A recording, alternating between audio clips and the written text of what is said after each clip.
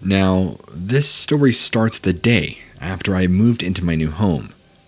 I had just moved from my apartment, which was in a very bad neighborhood. Lots of bad things happening there. But that's another story. So, I had just moved into my new house, a small two bedroom house.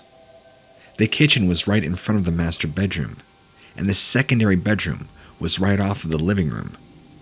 I had my mother and two siblings living with me. They took the very large master, while I took the secondary bedroom. Anyways, this encounter took place pretty much late in the night, around 11. Everyone had gone to sleep, so I was pretty excited that I had the house all to myself. I decided that I would do dishes to help out my mother. Then, play some games on my Xbox for the rest of the night. I walked into the kitchen with my dog, started doing up the dishes. About halfway through them, I began feeling really uneasy. I started thinking that it was just an unexpected anxiety attack, which I get pretty often. So, I didn't really think much of it. I paused and decided that maybe a glass of water would help. While I was sipping my water, I started to hear my dog growling from the living room. I say my dog, but he is really my mother's dog. He is a very, very good guard dog, as in will destroy an intruder in a heartbeat type of guard dog. Anyways, so I heard him growling, a very low, quiet growl. Me being the stupid 17 year old I am, decided I was going to go see what he was doing. I put down my glass, walked into the living room, where both my puppy and my mother's dog were standing by the front door, their nose in the crack of it. Tiptoeing my way to the door, I listened carefully. All I heard was a faint scratching noise. I just assumed it was a raccoon, or maybe, or one of the stray cats that frequented our house because we could always leave cat food out for them. I took a peek out the front window which is located right beside the door, and I didn't see anything. Just the dark yard and porch, illuminated softly by the glow of the streetlight in front of the house. So, I told the dogs to chill out before they woke the family up. After they settled down a bit, I went back to finish up the dishes and think about what games I was going to play. As I was washing a plate, I got that uneasy feeling again. The feeling in the pit of your stomach that just feels like something is very wrong. I tried brushing it off, but it was coming on so strongly. All of a sudden, I got the feeling as though somebody was behind me, staring at me, silently watching me. My uneasy feeling turned scared and then stressful. I was so uneasy that I had whispered to myself, Something bad is going to happen. And the floor began rumbling, as though somebody was running on it, running it behind me as my back was turned away from the entry to the kitchen. It rumbled hard. The pounding of the footsteps was so loud. I didn't know what to expect, put my hands over my ears to block out the sound. It ran up behind me, and it slammed me into the kitchen counter leaving a large bruise on my stomach. As soon as it all started, it stopped. Nothing but silence in the small kitchen once again. While checking my stomach, I waited to see if anything else was going to happen, but nothing did. The room falling quiet once again. I started panicking, feeling so scared about what had just happened. Finally, getting the courage to turn around as I did, sighed in relief. My big eyed pupper was sitting in the doorway, staring up at me. Walking over to her and hugging her, then hooking her up to her leash to take her out before I went to bed. At this point, it was around midnight. I was so scared and exhausted. I just decided that it was the sleep my body was desperately craving, but hadn't received, causing me to think something had happened when it really did not. Though it doesn't explain the bruise forming on my stomach. I even said to my pupper Hard to believe that my mind could conjure up something so scary.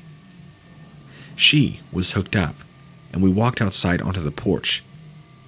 Normally, we have four baby stray cats that basically live out there, but they were nowhere in sight. So, I assumed they took cover over at the neighbor's house. I walked little Pupper into the yard, a little ways away from the side of the house where the kitchen window was. Now, I wasn't in front of the kitchen window. I was at the front of the yard, but I could see the kitchen window from where I stood. Looking down and talking to my pup, telling her what a good girl she is and how beautiful she looked. You know, what all puppy mamas do. She looked up at me, wagged her tail in delight, but then her mood suddenly changed as she then snapped her neck to where the kitchen window was. When I say snapped, I mean she turned her head so fast, I thought for real she was going to break her neck. It startled me, so I naturally took a couple of steps backward, trying to calm down from the scare. I glanced over to where she was looking, just a small, quick glance, and to my surprise, I actually saw something. I wasn't expecting to see anything, so I had to double take at the sight of this thing. We both sat and stared, trying to see what it was. It resembled a tall black silhouette, eight feet tall, a very large chest. I remember the chest so well because it stuck out so far, like scarily far. The figure looked thin in the face, but quite large in the rest of its body, and it was staring over the large hedge that was in front of our kitchen window. It was staring into the window, like it was waiting, silently, for someone or for something to move inside the house. I'm guessing my dog's eyes finally adjusted to the darkness because she let out a small woof at the creature. And as soon as she did this, the creature turned his head and stared at me with huge green glowing eyes. My heart sank. The way its eyes were reflecting the light made me instantly think that I was standing in front of a giant, seven foot tall animal. It was silent. No sound. No nothing. I was so focused on the creature that I had failed to realize that the night insects had gone silent as well. There was no noise, except for the static sound of energy coming from the city. I froze while my pupper started barking loudly and violently. What could this be? Am I seeing things? Is this real? I scooped my pup up in my arms, running inside the house, all the while feeling the same pounding and hearing the loud thudding footsteps as the previous encounter that took place an hour prior. I ran so fast that I almost tripped over my own feet. Darting indoors, basically tossing my pooch on the couch, locking the door as fast as I could. Leaning against the door, I listened for whatever it was that chased us in. I also held the door closed, thinking it would actually do something to protect us from that thing. All I could hear was the sound of my heavy breaths coming from running so fast. My dog's barking must have disturbed my family because my mother came out of her room and saw me holding the door closed. She clearly saw I was distressed and wrapped her arms around me, telling me everything was okay, asking what had happened. I could not get out the story. For some reason, my mind told me not to tell her because I knew that she would not believe me.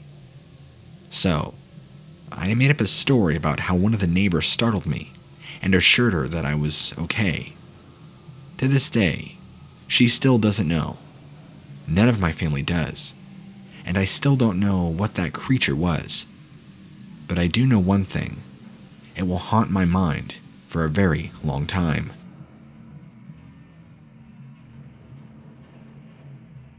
This happened to me and a few friends of mine during Halloween in 1999 we were all dressed up to hand out by my Elephant Mountain, a local name for a mountain, that we rode our bikes, then hiked to the top.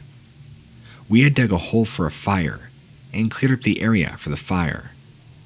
We did it a couple times that year. I mean, we were all 15 to 18, so it was fun. We were having time to relax and watching the skies after midterms. After around 8:30, we began to hear low screaming or moaning, non-sexual moaning that is, like somebody was hurt. So we took out our flashlights to look around, and we couldn't find anything. So we came back and found our camp was messed with. Our chairs were stacked and folded, like a pyramid. We thought one of us did it, and no one confessed. But about 15 or 20 minutes later, we heard what sounded like a rejected Muppet coyote. It didn't sound quite right. It's like somebody tried to make that sound without knowing what it truly sounded like. We decided to nope it out of there fast, and we drowned out the fire before we left. The following Monday, we were talking at our school, TA. She's Native American, although I don't remember which tribe. She heard us talking about it and held us after class and said, Be careful around that area. It was a stomping ground of evil spirits. She called her husband's friend to come bless us with sage and other herbs to make us all medicine bags for us. However, I don't think I'll ever want to deal with another skinwalker or evil spirits again. Back in 2017, I went on a family vacation to Fairfield Bay, Arkansas. We were staying in a raised cabin. I was maybe 5'7 at the time and could comfortably stand under it. I had a golf hole for a golf course behind, which was alongside of a forest. The first day we were there was great. We went back to the cabin and we got our stuff unpacked. I was staying in the loft above the living room. It had windows above the roof to look out of like a split level roof situation. I turned off the TV and went to bed, no problem. I woke up in the middle of the night for no reason. I lay on my side so I have a straight shot out the window across from my sister. In that window was this pale, emaciated humanoid thing sitting on the lower roof. I froze in fear, willing myself not to move in fear that this thing would try to get in. It kept its hands around its face, like people do, trying to see out a window into the dark. It sat there and just watched for a minute that felt like an eternity until the thing turned and crawled on all fours down the side of the cabin, presumably back to the woods. I sat there, still frozen for another minute or two, just to be sure that this thing was gone. The only thing keeping me from running to my parents' room was that the entire living room was lined with curtainless windows, and the thing just crawled down that way. I had to turn the TV on to get back to bed that night. The thing was about child size, and I am positive an adult would have problems scaling that cabin. You can imagine how sleeping in that cabin felt for the other five days. I couldn't sleep in my parents' room because they didn't believe me. They said it was just a bad dream, but it wasn't because the TV was still on when I woke up. I had to sleep there for the rest of the trip, waking up at around the same time every night, then having to turn on the TV just to get back to sleep. I carried the fear of this thing for years, thinking I would see it in my basement window or down the street from me when taking out the trash at night. Watching shows with things that looked like that almost put me to tears. And trust me, I don't scare very easily. That is, until I found more information about it. I don't feel as much of that fear now, but it's still there, always at the back of my mind. Thank you for reading. It makes me feel so much better about this event, whether I can just talk about it to you or anybody. I don't normally encourage this type of stuff, and have always been a firm ignorance is bliss kind of guy. I've seen ghosts before, and spirits, and it never really bothered me. Because simply, I would just shut it out and carry on with my day. However, there is one encounter that I have never been able to forget, and it still freaks me out to this day. I live in the UK and used to live in a nice area just outside of a big city. It was sort of in the countryside, but not. There was always this one part of the woods that just gave weird vibes. Unexplainable, and the feeling that you shouldn't be there. 1 420. Me and a few friends thought it would be a good idea to go to the spot, as we referred it to, and get set up in a tent and have a good time. It probably got to around 1 in the morning, and being tired and stoned, I decided to just walk home, since I lived 10 minutes away. I remember I left by myself and started on the path home. The area where we had set up was wooded, a lot of high bushes, and a good mile away from any house. It's also near an army firing range. I don't know if this is important.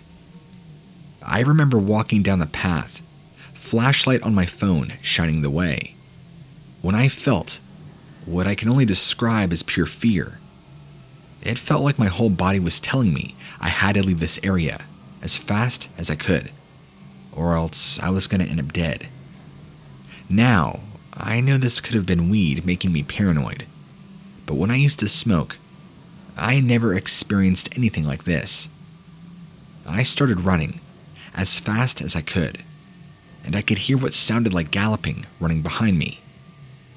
I couldn't see it, but I could feel it, and I could feel it was getting closer to me and that I was in imminent danger. I managed to get to the clearing, which was about a hundred meters near the main road, and as soon as I got there, quickly turned around to see what it was chasing me. And I just remember seeing this tall, pale, bony creature standing still at the top of the clearing, watching me closely. It must have been easily eight feet tall, had massive eyes that reflected light. I never told anybody what I saw, simply because I knew nobody would believe me. And every time I walked past that clearing, I still felt like I was being watched. However, a few years later, my friend and I were discussing paranormal events. I told him what had happened, and we decided to go there. Luckily, this time during the day and light. We got to the area and ventured in deeper, only complaining we got a weird vibe, but nothing to be concerned about. However, as we got deeper, we came across what can only be described as a tunnel of trees that led to a round clearing with a single tree growing in the middle. Nothing else. All other vegetation was dead as we started to walk through this tunnel, what can only be described as a face appeared through the vegetation, staring at us. We both got a good look at it, and we saw a long sunken face, large jet black eyes staring at us, with slits for a nose. We bolted and got out of there. To this day, we haven't spoken about it, and I just want to know what it was. Somehow, I know it was watching and observing. It was definitely predatory. It is a thing of pure evil. I can feel it.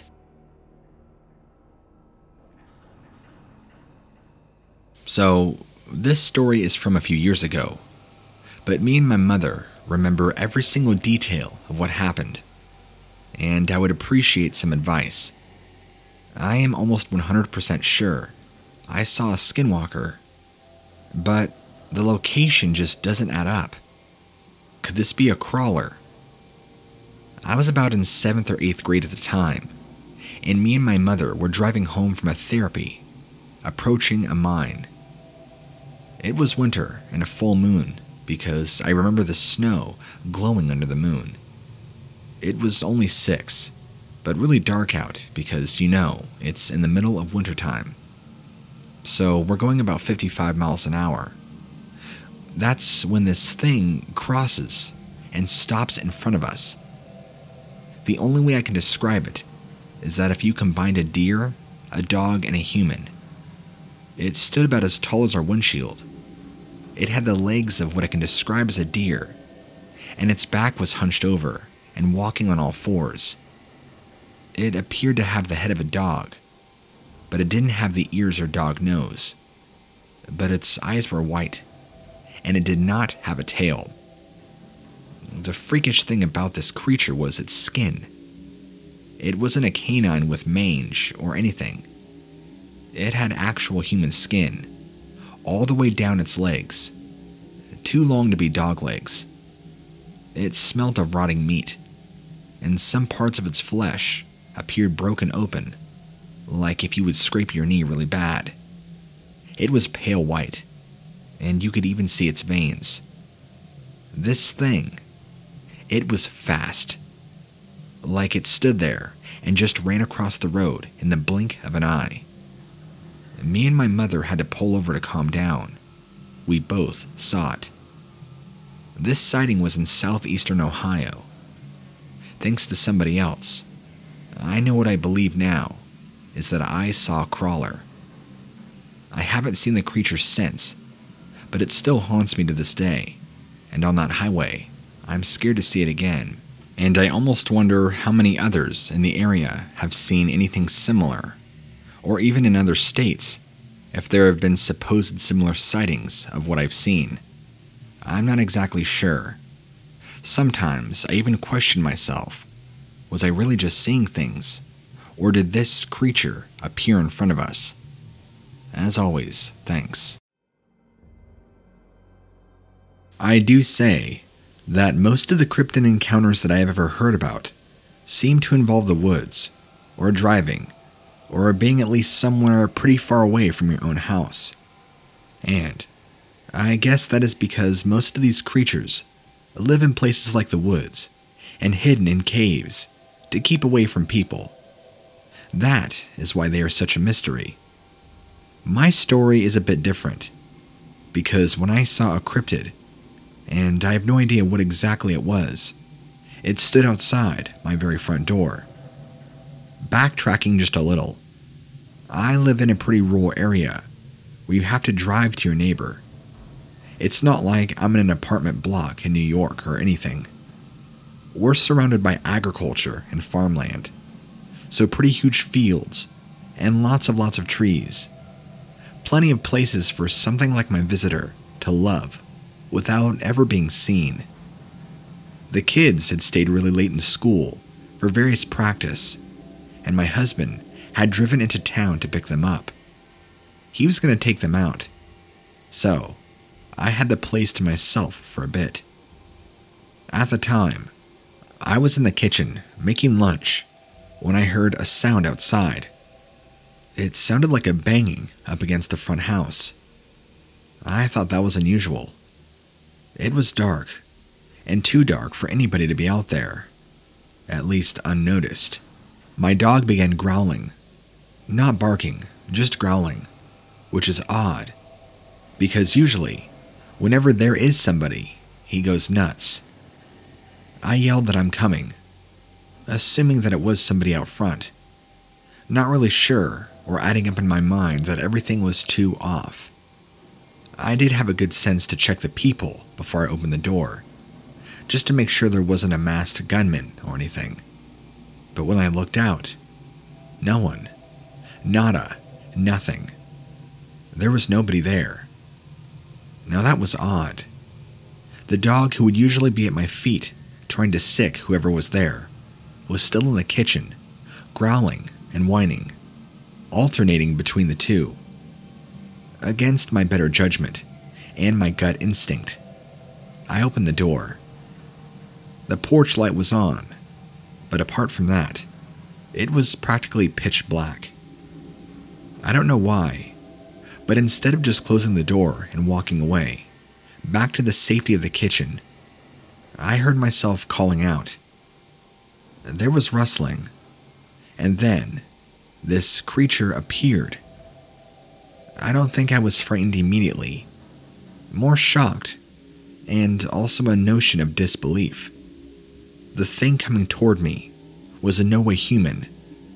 My mind made that out pretty quickly. But it wasn't like any animal I have ever seen. It was grayish in color and appeared to be covered in some thick, strange hair. It walked on two legs like a man, but its feet were cloven. It also had long, thin arms hanging by its side, longer than human arms would reach. Again, it had very bizarre shaped hands. The face was even like a person, except it wasn't. The best way I can describe was kind of it like being Voldemort, you know, from Harry Potter. That sort of pseudo human feature. Weird enough. It also had tiny wings that appeared to be on it. They were kind of scaly and tattered like a bat's. I stood there for a moment, almost expecting somebody to jump out with a video camera and shout, You're pranked, or surprise. The dog started freaking out the second this thing came into view, suddenly remembering like it was meant to protect me and began barking like mad. My visitor took one look and fled. It ran off. I'm not sure where it went. I'm not sure how long the dog kept barking. I stood there on the doorstep, terrified, mouth agape, wondering what just happened. What did I see? Trying to process what I just encountered. I don't know what that thing wanted, or why it chose to knock on the door. It sure looked strong enough to have ripped the door open had it wanted to harm me. When I had looked at it, despite it being some sort of abomination, it did not appear threatening, although it did come and try to approach me. Again, if it had wanted to, I'm pretty sure it could have just eaten me or my dog. But it didn't give off a harmful aura. Of course, when my husband and kids came home, I told them. They're in high school. I wouldn't tell a kindergartner this stuff. They all thought I'd been drinking too much wine. Once I'd managed to finally convince them, they all went outside with lights and a gun, my husband insisting on taking the shotgun. But of course, there were no signs or evidence. Oh, and for the record, I live out in rural Ohio, so I don't think this could have been a house call from the Jersey Devil. I'm hoping one of your listeners might have a suggestion, or you. By the way, I love your show a lot. I listen to it almost nightly, and I thought what a better way to contribute to your show than to tell you my own story. Thanks for reading.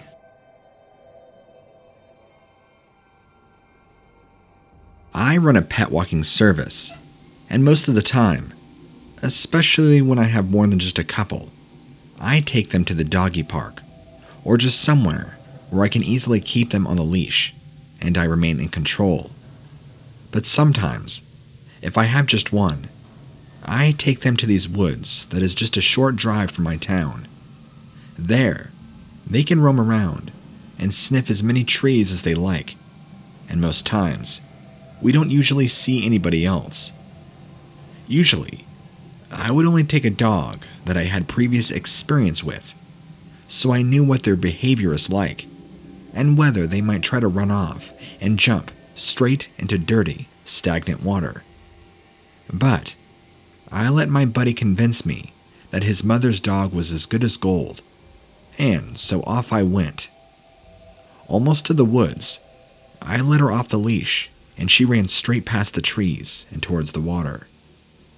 I'm a pretty good dog walker, not a good dog groomer. However, it is an unwritten rule that you don't return a dog covered in crap from a stagnant pond. I started calling her, but I could just hear her happy noises and splashing.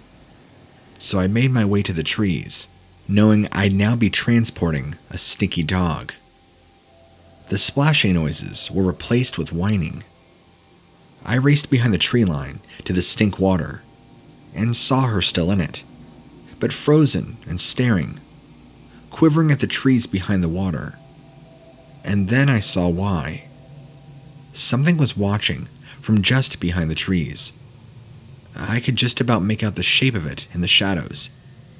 It was fairly short, but bigger than any animal I could think of that would usually be roaming around. I'm guessing five feet. It also stood up on two legs, like a humanoid, a bipedal humanoid, which was scary. It was dark in color, but I couldn't tell if it had fur or just darker skin. The body seemed short, so it was mainly all legs, and then this large head, which kind of looked like it had antlers, but there was in no way any kind of deer. Its eyes were a shining yellow light. It was hard to tell whether it had arms, but if so, they must have been pointed to the front, like if a rabbit stands up, as I can't see them by its side like a person. The dog was still staring at it. Then, this thing, an alien, whatever you call it, made an awful noise, like a shriek. It actually hurt my ears, it was so high pitched. Then, it turned and went back into the trees. That seemed to release the dog from whatever trance she was in, as she came racing back over. I put the leash on, and we got the hell out of there. Never have I returned there by myself or with dogs. I don't know what freaking alien I saw that day.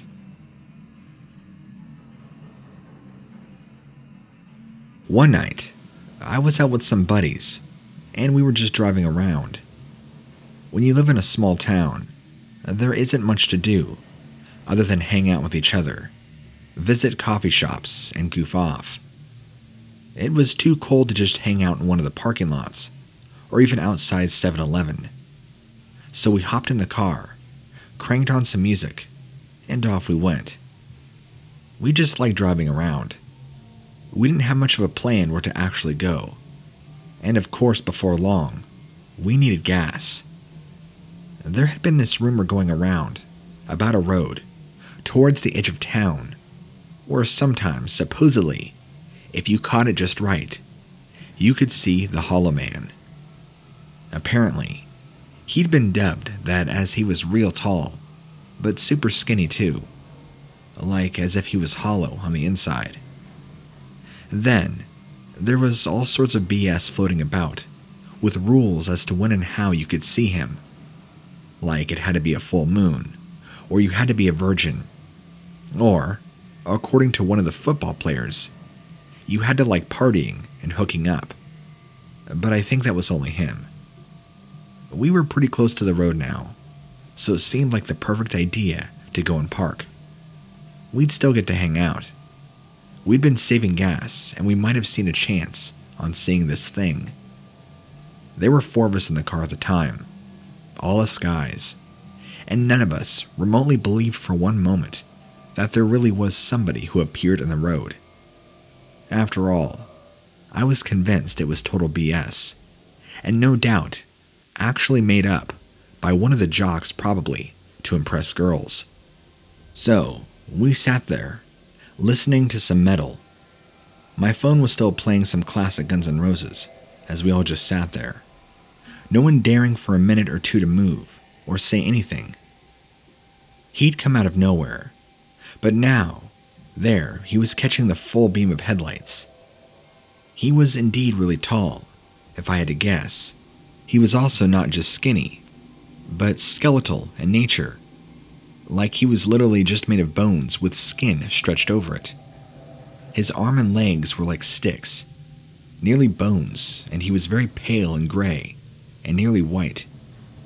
His head was tiny, large empty eyes, and a small tiny mouth. I was in the back seat as my buddy was driving. He suddenly tried to whip his phone and snap a picture. Whether it was the sudden movement or the flash, I don't know. But he, or it, whatever it was, ran back into the trees from where he must have come from. We all just sat there, and Ryan did happen to snap a photo. But of course, due to the motion and the lighting, it was blurry.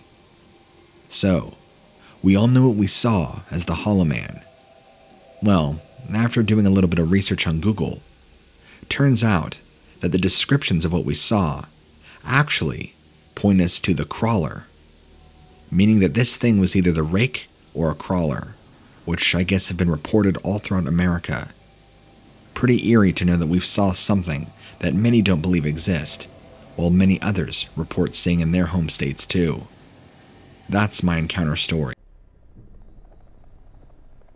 I live in a heavy forested part of West Virginia. I enjoy taking bike rides by myself. Call me antisocial, but the experience of nature and breathing in fresh air as it's filtered by the trees just isn't something I want to be distracted from. So, if I can avoid having company with me, I do. I was out for another biking session as usual, but I didn't notice right away that there weren't many sounds coming from the forest. It's usually electrified with sounds of insects and birds and other things. But this particular trip, the woodland around me was very quiet. Granted, the cold weather was coming in, but it wasn't anywhere near soon enough to bring in that level of silence. I didn't question it as much as I should have, and I continued my bike trip as usual. After about a half a mile of nothing but that strange silence, I felt the weight of eyes on me from behind. I stopped and looked behind me, and I saw this peculiar shape that was both animal and human. It was animal in the aspect of having very mangy and coarse gray and black fur.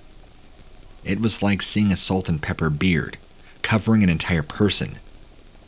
The face where the hair was was the thinnest, and the face could almost have passed for something human if the nostrils had not been two gaping holes that compromised most of the nose. The eyes were the most telling part about this piece of nature of what I was seeing. They held a trembling light to them that appeared far too primal to be anything truly human. If there was anything about it that was human, it was the mouth. The shape of the lips was nothing unusual. The teeth that those lips hid, however, were very long and looked to be very sharp. Either from birth or from use, I couldn't tell. I didn't wait around to see how good its manners were. I pedaled for all I was worth. I was pretty sure I could hear the thing's footsteps behind me, and it was doing a disturbingly good job of keeping pace with me. I looked over my shoulder just a few more times, and each time it was something that I should not have done because I could feel my sanity breaking just a little bit more. So, I entered a survival state where I pedaled and I pedaled and I pedaled. And no matter what I saw or heard, I could instantly remember my legs burning from exhaustion. But something inside of me was able to push them to keep going. I even pedaled until I left the park. A close call with traffic was all that brought me back to my senses, and that's when I collapsed. At some point, the thing had broken off in a quick pursuit. But I don't know what point that was. It triggered a mechanism of preservation in me that I had never experienced before, and I hope I never experience it again. It's the fleeting feeling of not wanting to die. Look, I'm not exactly sure what I encountered that day, but everything points to a territorial Bigfoot that was probably pissed because I came too close to its home. But in reality, I have no idea, which is why I'm running to you for answers.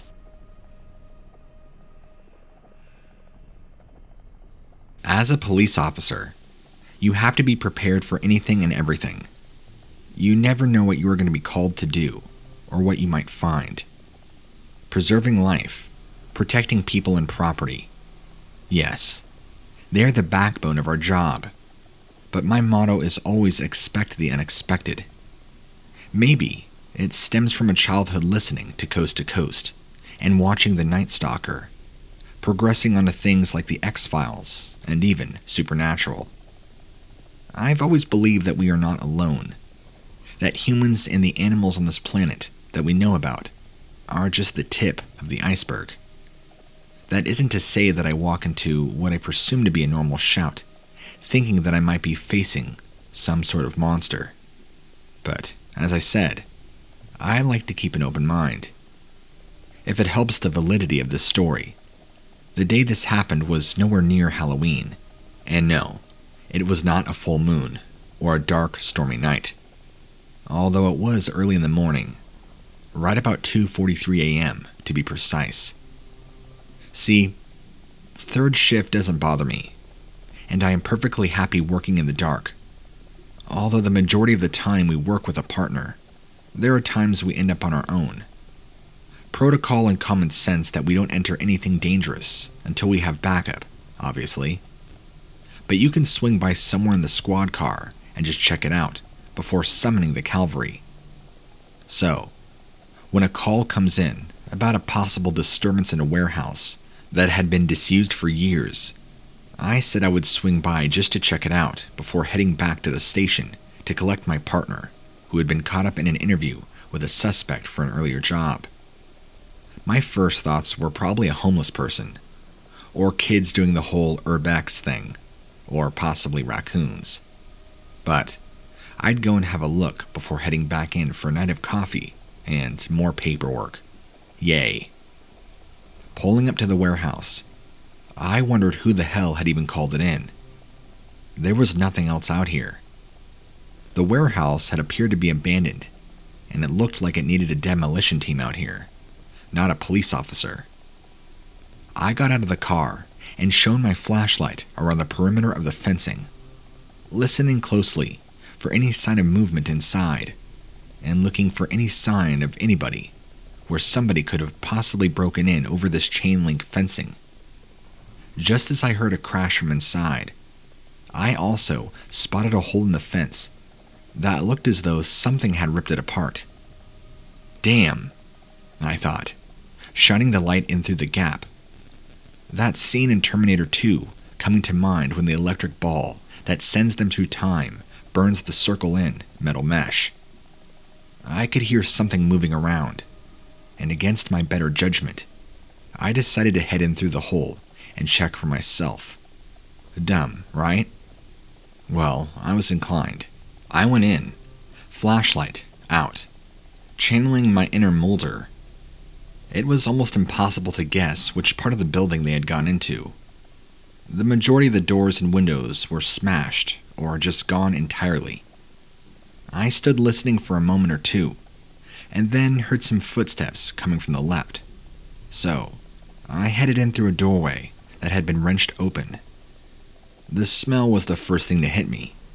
The eye watering stench of ammonia from years of piss made me gag as did the overwhelming stink of animal feces and death, rot, and old meat, which was confirmed as I shone the light down the floor and saw a couple of dead animals, their bodies rotting and heaving with maggots.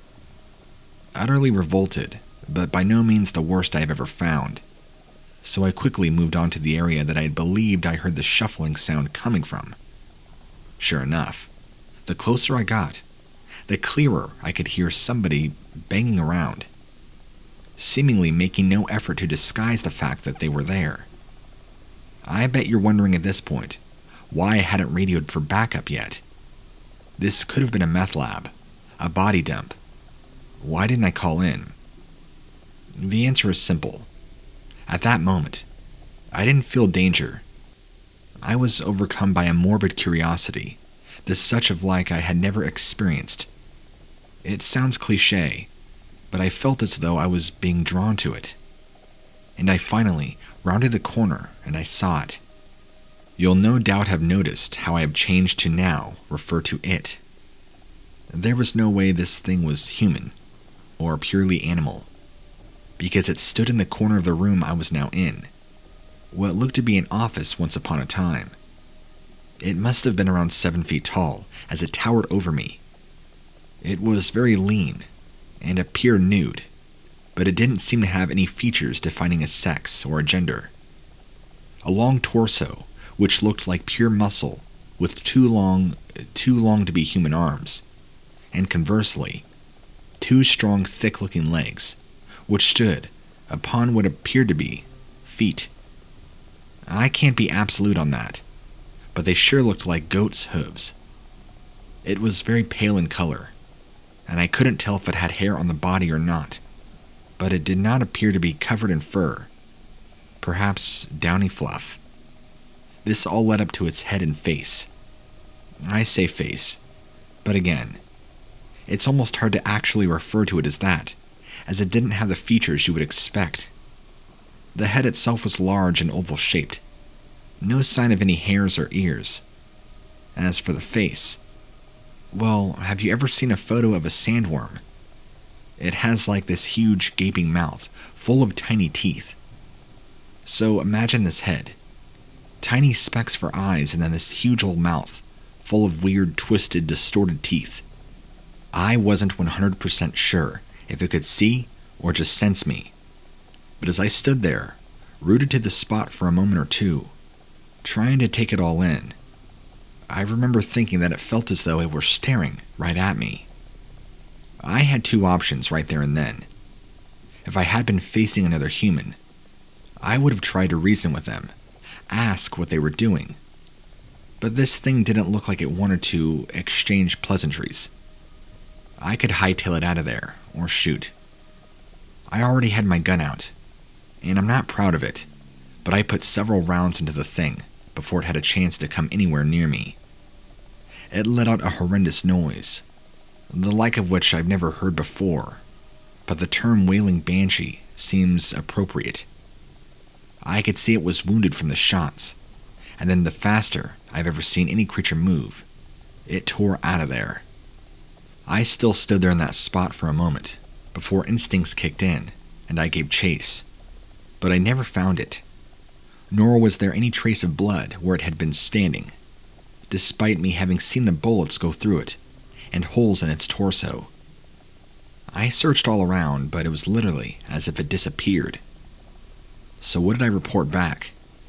Did I tell dispatch all about my encounter with an unknown thing? No. I told them I'd entered the building and found evidence of animal activity.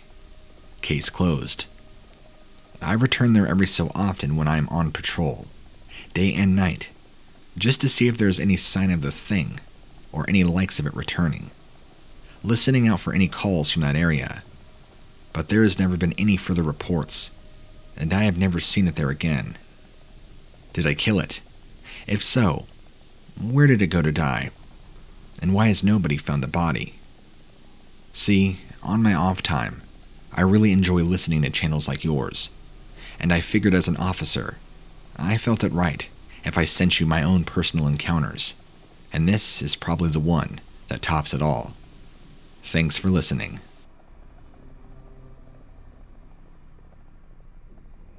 I've done what everybody does once in a while, and actually stayed out too late. I didn't get robbed or mugged, or beaten up, or anything, but something did happen. I was in an area where most of the time people stayed away for some reason, and that's what seemed to make it all the more peaceful. People seemed to think it made it that much more dangerous. I didn't understand why. It seemed like there were just as many animals as there were anywhere else. What I did know about it is that it made itself known over my head. I heard what sounded like a bird crossed with a helicopter, if you can imagine such a sound. The rapid whooshing of its wings, plus this horrible shrilling cry. It was enough to make my heart stop. So I ran for my life. I took glances at whatever it was, but unfortunately, not able to see much detail but besides the large tattered wings, I did see what I believed to be two glowing eyes. They didn't have pupils, but somehow I knew they were fixated on me. I experienced the most adrenaline than I ever had that day, and I have no idea why thrill seekers are addicted to it. To me, it was a very unpleasant experience. I was convinced I was going to die. I did make it home safely. The monster, or whatever it was breaking off its pursuit. But I never went out there alone like that again, and I have no desires to do any more urban exploration on the East Coast. I've been told by friends, whom with I've shared my story, that I indeed had an encounter with a Mothman. I'm writing to you because I wanted to know what you think.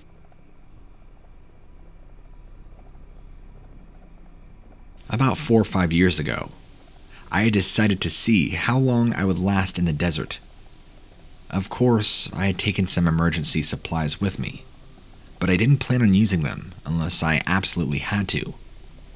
I'd always wondered how people were affected by exposure in the heat and in the open. I did fine for the first 15 minutes. Afterwards, I was sweating so bad. Whether it be stupid or not, I resisted the urge to dip into my bag and get the water that I had. I didn't plan on reaching for it until I was starting to feel lightheaded. The feeling never came, but I did question my senses when I thought I saw an owl perched on top of a dead tree. It just seemed like an animal that was terribly out of place in that environment. I pinched myself and blinked just to make sure I was not hallucinating, and apparently, this bird was very real. I wondered if it was in distress, like possibly an abandoned pet. All of my concern for it vanished when it hopped into the air, came down towards the ground, and its legs got longer. The wings too stretched out longer, closer to the shapes of arms. At first, I thought it was growing antlers. But then, I could see that it was a sort of headdress. The entire thing's body was mostly dark, and I could not make out distinct features. But it had two eyes that glowed a dull yellow, as if they were reflecting from the sun. It was eerie and supernatural. It approached me in a way that looked menacing. My sentence heightened, as did my levels of stress. I fought off a twisting pang of panic as I tried to remember what the area had looked like on Google Maps. I took a chance that there was a nearby road over a sand dune, and for once, it was an accurate guess. But it was going to be several minutes before I could reach it. I didn't look behind me to see if the thing was on my heels or not. So when I reached the road, I was half delirious and nearly got run over. When I was able to look around me, the thing had been chasing me was gone. I'm not even sure if my pursuer had got me very far. Probably just far enough to think it was funny.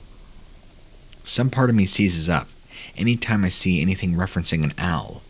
Here's where things get even more disturbing.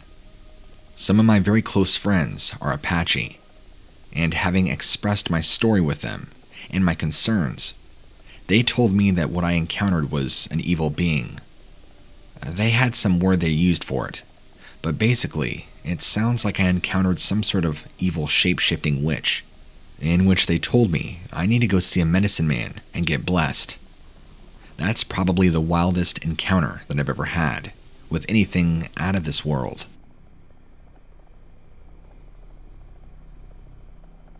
A few years ago, I had an utterly horrendous experience while walking my dog.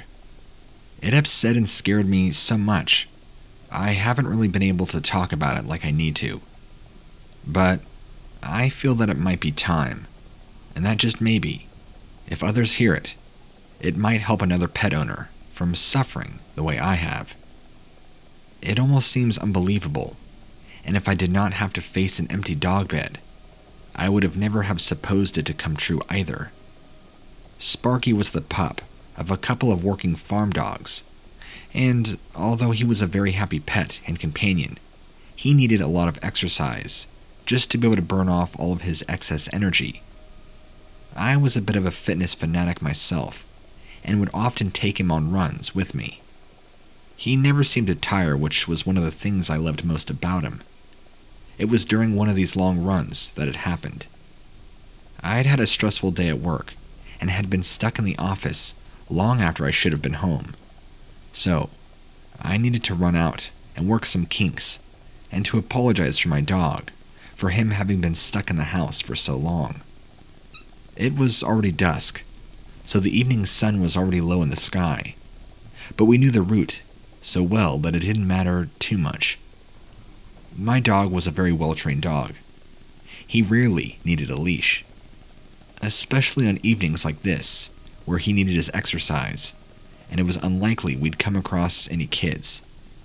This is all in part to why I was so surprised when he acted the way he did on our trip. He began howling and bolting into the woods off the track we always stayed on. He had never, in the hundred of times we'd done this, run into the woods in the dark. I yelled back to him, and nothing.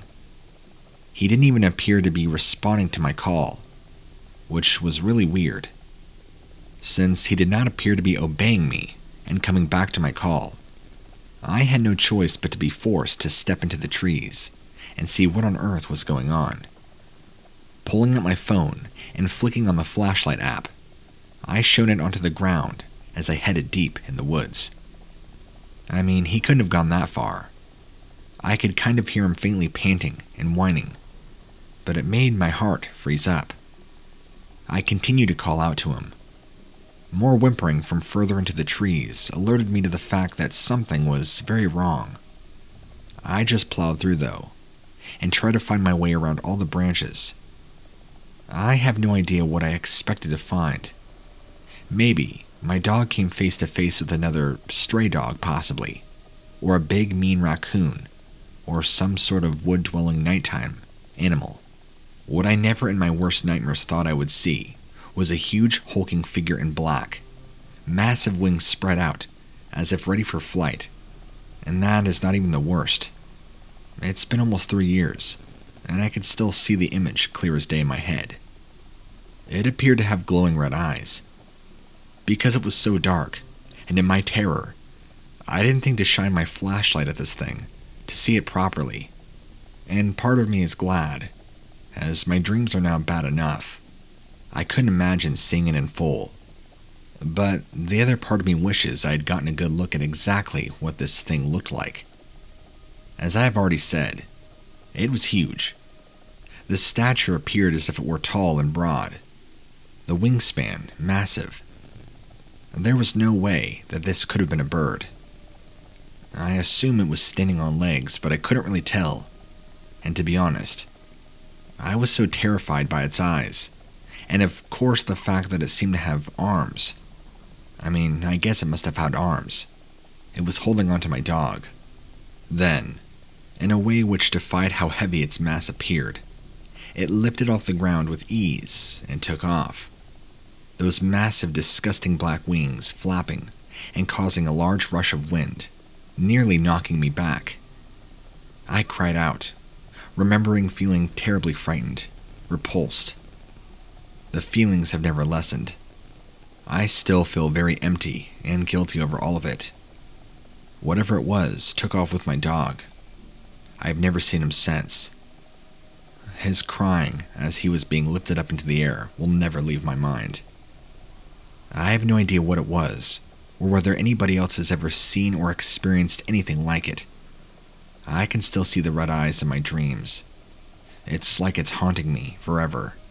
Either this is just a misidentification with some unknown animal that lives in the woods and is a nocturnal predator, or I really did come face to face with a demon with an appetite for dogs.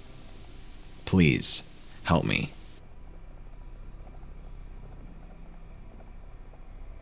Over the years, my favorite hiking trail has been overrun by troublemaking kids. The type that spray paint dirty messages and pictures on trees. The stuff that completely ruins it for enthusiasts like me. I went for a walk after a particularly hard day, and I'd made up my mind if those kids gave me any kind of trouble, I would like to personally teach them a lesson. By the time I was out for a walk, I wasn't paying any attention to nature like I should have. I was just begging for a chance to get my hands on one of those dumb kids. That's when I saw movement in the trees, darting in and out of the openings. Without double checking, I automatically assumed that it was one of the kids, up to no good, probably trying to spray paint something else. My senses were trying to tell me that I had made a big mistake. The air seemed to change, and it seemed charged, like with electricity. My nose was then assaulted by a bizarre smell that I couldn't place. Something like a horrific body odor smell, mixed with wet dog, and maybe a tint of blood. I ignored my instincts and pushed onward, hoping it was possibly just maybe a dead animal off in the bush. I openly challenged whoever was circling me to come out and show themselves. Probably some dumb kid, afraid of getting caught. Well, they did. And it certainly wasn't a kid. It stood over me with an air of being proud of itself. The face could have been human if it weren't completely covered in fur, and the nose didn't have an ape like look to it. Jagged teeth poking out from the bottom lip, nearly punctured and scraped its cheeks. It nearly looked at me and studied me in a curious fashion. Between the stench and the shock, I nearly passed out. Before that could happen, I sprinted away, but I made the mistake of not looking where I was going and face planting directly into a tree. It knocked me unconscious, and I woke up, expecting to be either kidnapped or covered in lacerations. But my only injury was what I had sustained from kissing a pine. My nightmarish visitor had left me alone. Part of me even wonders if I actually saw what I think I saw, what I can believe to be a Bigfoot. Part of me wants to believe that I had seen one of those kids wearing a very elaborate Halloween costume. But how did they get so tall? I might be taking a break from hiking for quite a while.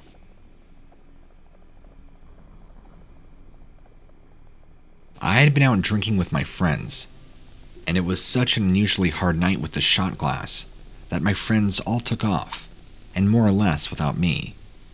So I was hammered, and the bartender wasn't going to let me stay inside anymore.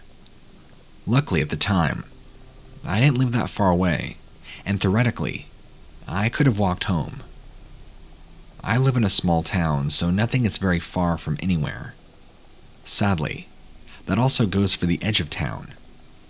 Somewhere in my stupor, I must have made a wrong turn and ended up at the outskirts, where we're hemmed in by about 10 acres of thick woods. My night vision is bad enough, but under the influence, I simply couldn't see the trees in darkness, and I thought I was just going into a dark part of town. There's something about being drunk and walking that is so much worse than being drunk and sitting down. I suddenly felt very tired, so I tried to look for a place to bed down for a minute. It was in the middle of summer, so there's no reason why sleeping outside would be a problem. I tried to curl up next to what I thought was a large gray rock. Well, the rock jumped and snarled at me. The rock went from standing on four legs to standing on two, looking down at me with eyes that were more intense than I could even describe. I was pretty sure that I was screwed in that moment, and made me sober up nearly instantly. The one night my friends abandoned me and I got lost, I happened across the only living werewolf that I've ever seen, or at least what I can describe looked like. I felt like I was standing there for a long time, just staring at this thing, while it studied me like a prey. Anyway, after that, I kind of blacked out the next morning, I woke up in the same spot, with my friends pulling up next to me in the car, telling me I'm a bum and making me get in. I told them about what I had seen last night, to which they all laughed at me. Look, I know this sounds crazy, and even though I was intoxicated, I still saw what I saw.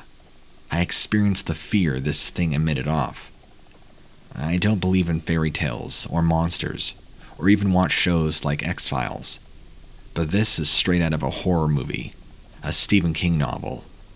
This terrified me, and so I thought I would try and share my story with as many people as would listen.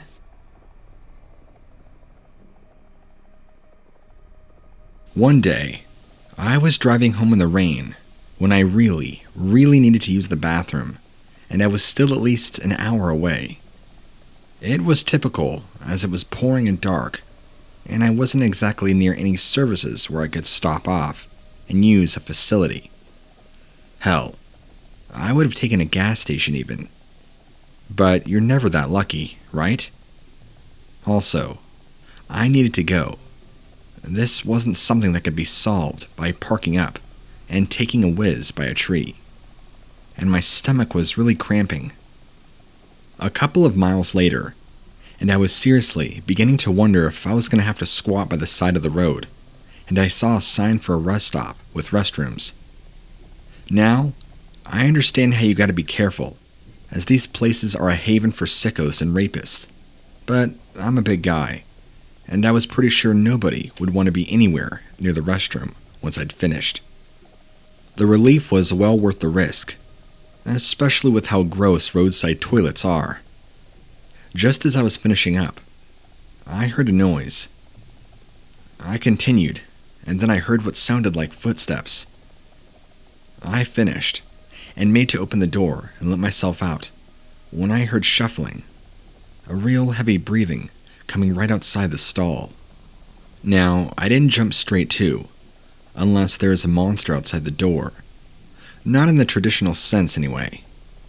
I did wonder if whoever was out there was maybe some sort of crazy looking for some deliverance kind of fun, and I was in no mood for that. Annoyance took over from fear, as I just wanted to get the hell out of there and wash my hands. So I swung the door open, preparing to meet some weirdo. But when I opened the door, I was greeted with something I'm not exactly sure what it could have been, which is why I'm letting you know in the hope that you or one of your listeners might be able to help me. First off, this thing was huge. Otherwise, I would have just punched it and ran the hell out of there. But this thing looked like me. Punching it would be the same as hitting a brick wall. A lot of pain for me, and no real effect on it. It wasn't tall, but it looked like it was built of pure muscle. So the top of the torso was like a man, stacked and built. Very bodybuilder. The legs were hairy, and the feet reminded me of hooves. The skin part were all gray. It had average looking arms, except for being very pale and gray. The head was messed up, kind of goat like, and it was very weird and scary. Huge, disgusting, scaly parts of its body, and more weird skin, like a bat. Look, I understand what I'm telling you makes no sense, but when I looked at it, that's how I felt. Nothing made sense. And for just a moment, I stood there staring at it. It was a blessing my bowels were now empty.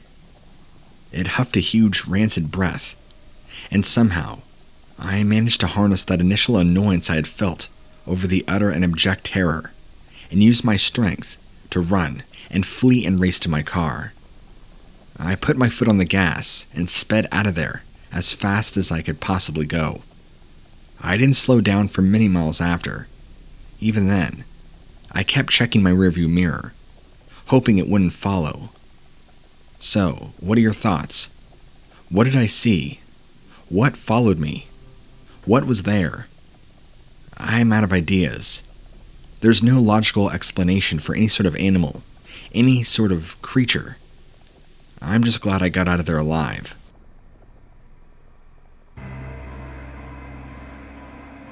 Me and my parents were visiting my aunt, who was getting quite along at an age that I needed help deciding what was going to happen to her after she was gone.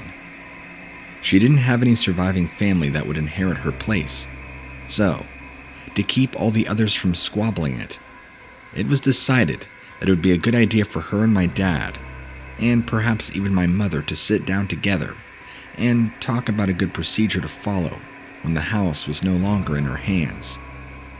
I was only 16 at the time, but I wasn't necessarily invited to be part of the proceedings that would take place with the committee.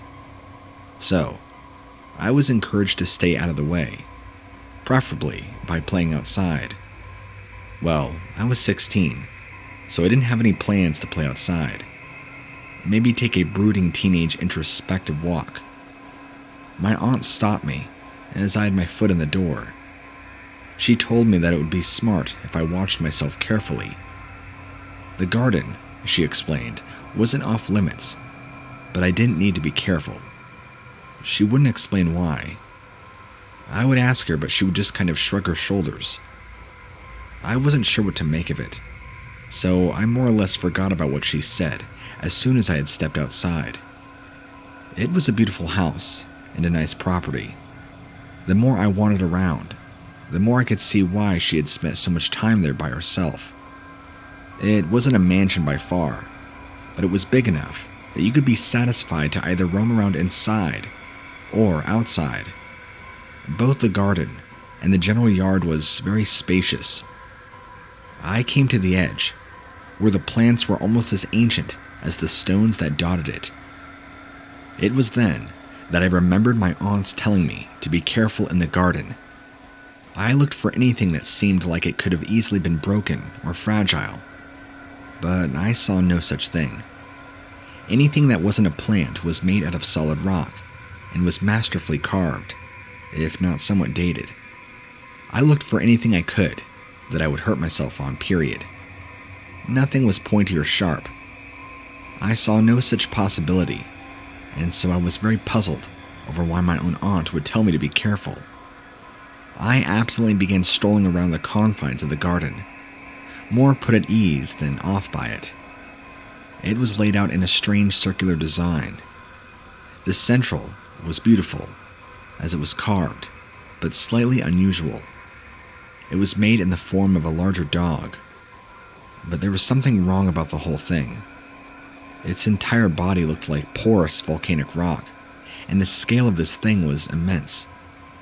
It was more the size of a black bear than a dog, and its face was a frozen, horrible expression of rage, and its back was even arched.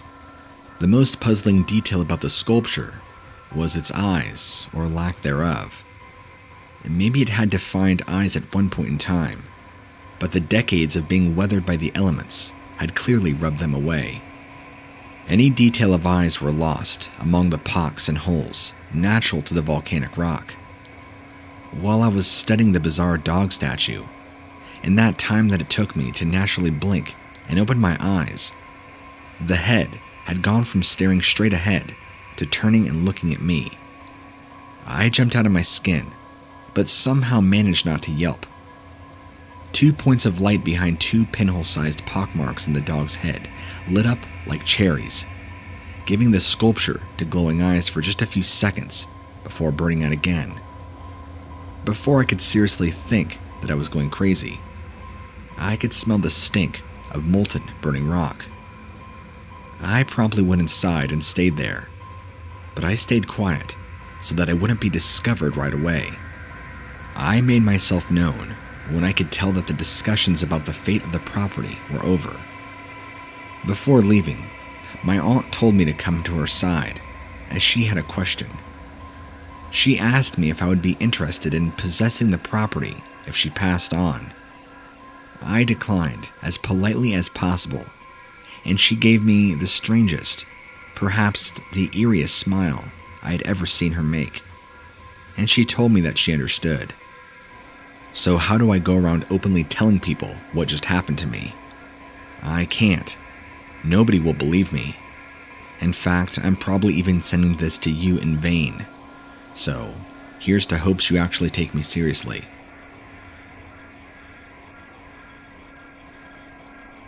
I have an extensive history of night terrors.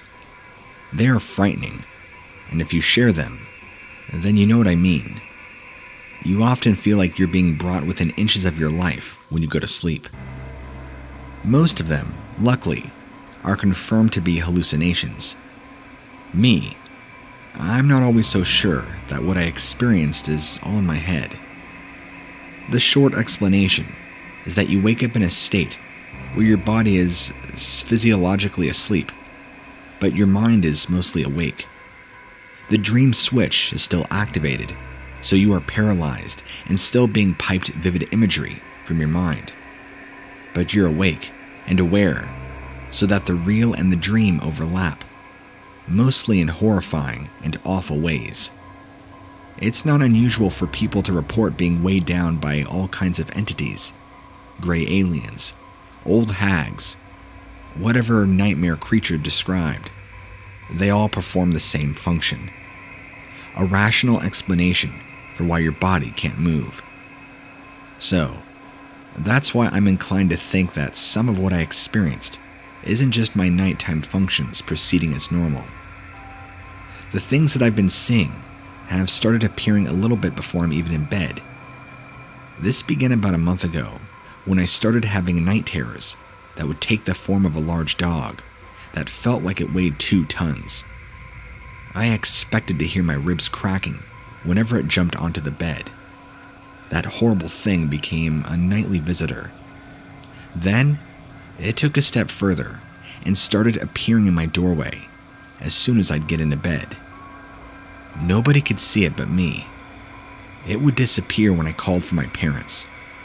Then, it started sticking around and watching my parents enter and leave the room. Then, it would flash me a grin of teeth that looked like long white ice picks, and its eyes would always glow like two red laser pointers. Each time it jumped on the bed, it was worse. It was getting heavier. Then it would get hot. And at first, a terrible smell accompanied it, like death and rot things that you should not be able to smell while supposedly dreaming. But then it started smelling like the room was on fire. I'd be in a panic, thinking that the house was on fire when I'd smell this thing. It took this dimension of things even further and began giving off an awful stink of sulfur, like rotten eggs, but more intense. Then, it began heating up the bed until I felt like I was being burned and crushed and suffocated simultaneously. I would tell my parents about it every single day, and they did get concerned for a bit, but then they just started getting annoyed. Telling them about it each day got more eye rolls than support. It wasn't like I had any way of proving the thing actually existed. The horrible dog's visits began to taper off the older I got but they did not stop completely. That is, until I moved out of the house. Recently, my parents had begun to renovate the house to prepare it for the market, so they could downsize to something smaller and easier to manage. My father, against my mother's wishes, let me in on something that they found in the walls of what was my room. Tucked inside was a skull possibly a monkey's, that was inscribed with all kinds of evil looking symbols and markings. I'm no occultist, but I did see a demonic looking rune on the brimstone underneath the left eye of the skull. My father gave me the most awkward apology possible. It was better than nothing. My mother didn't even want to admit that such awful things was inside their home, and that it had plagued me right under her nose for years, and she never took me seriously. Not once. So, do you feel like this occultic artifact could be the reasoning I've been having these demonic sightings over the years? I know nothing of the history of this house, or anyone who had owned it prior, or anything they did. It must have been old, since it was put behind old sheetrock that my dad had to tear out to redo that part of the wall. Anyway, that's my experience. I hope you enjoyed my story.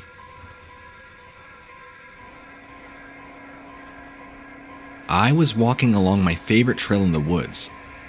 It was a public reserve that got plenty of regular traffic, so it's not the sort of place you would visit and expect to see anything unusual.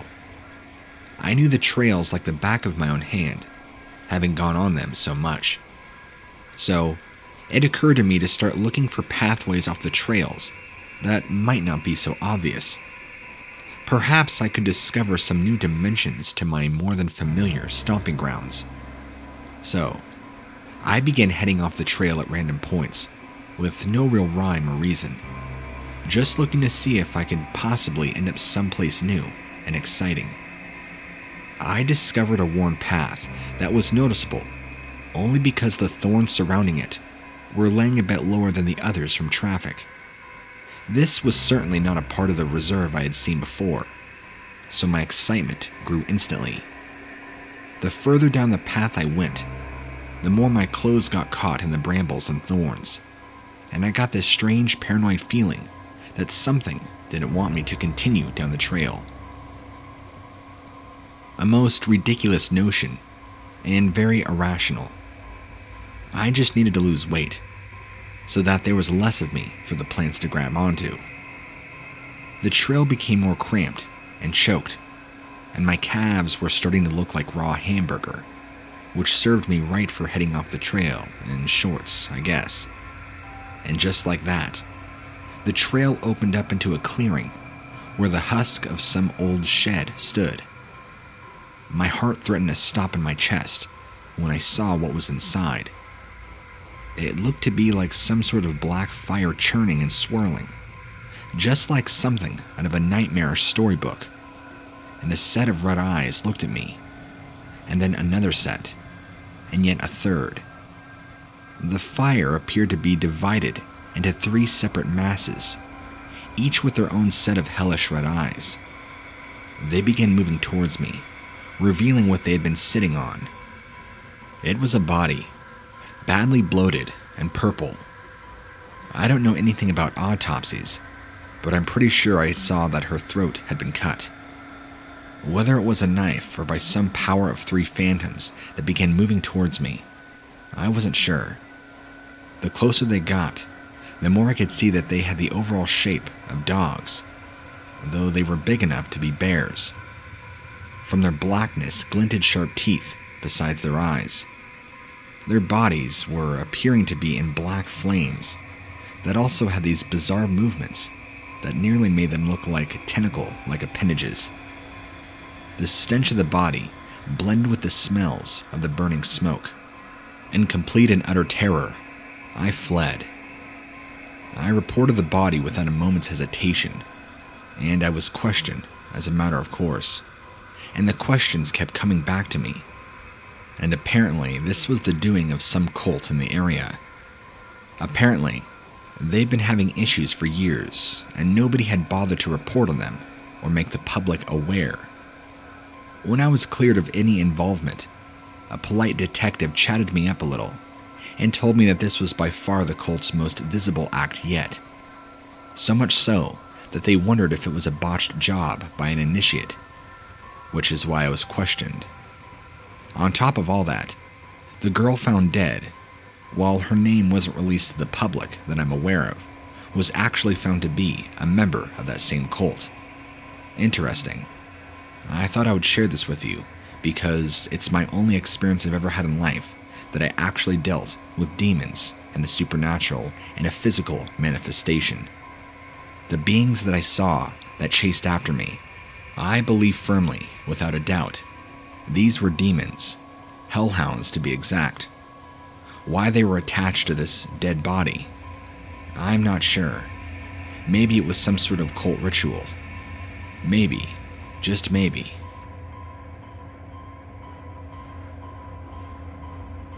I work in a prison. I'd like to say that it's rewarding, that I get to see men change from animals to civilized human beings who realized what they've done and spend the rest of their lives making up for it. But this is Supermax, filled with the worst kind of humankind. And it pays well. Lots of bennies. That's the only reason I do this. Having been a CEO for quite some time, you see a lot. We have a lot of death in here. As hard as we try, there are always times the cons manage to get each other and there are a lot of gangbangers doing life. And although they are meant to be kept separate, for our safety as much as theirs, they got people doing their bidding all over. But this is all expected. Then, you add in all the usual illnesses that come from a weird lifestyle, and just the usual age stuff when you got crazy old lifers in here. And sometimes, I get the chance to foresee it but not in a clairvoyant way, like I may have made it seem. I get a visitor. The first time that it happened, I won't lie, it was the single most terrifying thing that I have ever experienced. It topped being trapped in a room with a cannibal serial killer who had broken his restraints. I was outside doing a perimeter check, as it was early evening and close to lockdown. Back in the cage, buddy time. Very occasionally, one of the guests likes to try and spend a bit more time in the open air, so we always check. It was a pretty cool evening. I remember that I could see my breath. Then this awful smell hit me. It reminded me of science class back in high school, when one of the senior guards had been eating deviled eggs. I recognized the smell as sulfur, like I had somehow known. Still, obnoxious smells can't detract us from the job. Otherwise, none of us would work in Cell D after they've served chili in the canteen. So on I went, the smell growing stronger, and then I heard the growl. Some supermaxes are smack bang in the middle of cities. Ours is pretty secluded. You don't have to drive too far to get back into civilization. It's around a 30 minute journey back to my place. But there isn't much actually around here, so it's not unusual for animals to come sniffing around. Therefore, a growl from the other side of the secure fencing was by no means anything for me to be concerned about. I could just about make out the form of a large dog, and it was large. That thing sure wasn't wild and feeding off what little scraps it could find. At the point, it had its back to me, so I could not see the face. Just the huge, hulking jet black body that looked more like a wolf than your regular dog. And then it turned and faced me.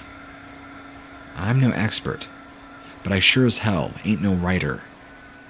When I looked into this being's eyes, I felt hell. Fire. Satan. Don't ask me how it's possible. This thing just oozed malevolence, a harbinger of death. It's like my inner spirit just knew that this was a hellhound. It appeared to be gazing into my soul, the fires of its eyes burning into me. I thought I was dead, that it would leap through the fence or leap through it and get me. It looked like it probably had some sort of superpower that could do that. But instead, it bared its teeth heckles up, growling. Then it gave a horrendous growl and seemed to just kind of evaporate into air. It didn't turn and run, nor did it disappear. It simply kind of just vanished, much in the same way that vapor dissipates. It was terrifying, to say the least. I might have remained standing there like an idiot if my radio had not suddenly come to life, scaring me Good job I got a strong heart. There was a panicked message coming through from one of the newer guys. He'd been doing his regular patrol when he slipped and fell. When he looked down to see what had caused his mishap, it was blood. And the blood he had fallen into had come from a now very much deceased body of a particularly child molester who had been shanked. Protocol and cleanup took precedent for a while then and I almost forgot about old Red Eyes outside. I did some research on the internet as soon as I could, and thanks to some anonymous discussion via Reddit and other sources, I discovered the phenomena of the Hellhound. Since that day, I've seen this demonic entity three more times, always around certain areas where some of the most evil and sinister prisoners are. I have never mentioned it to anybody else, but one time, the sighting was in the perfect place to have been caught on camera. So after our visit, and the inevitable cleanup of a gang member who liked to torture the family members of his rivals, choked to death after being force fed his own fingers. But of course, there was nothing. Just me, stood staring at the fence. There's only so many people I can send this to, and not lose my career and be taken seriously. So, People like paranormal investigators, ghost hunters, and people like you, who take time to read other people's stories and encounters. While I'm sure you get many counterfeit stories, I hope that mine, the genuinity in it, can stick out above the rest. And whoever hears this, if you decide to read it, can feel brave enough to come forth with theirs, no matter how fake it sounds there's always somebody out there who will denounce your claims as fake.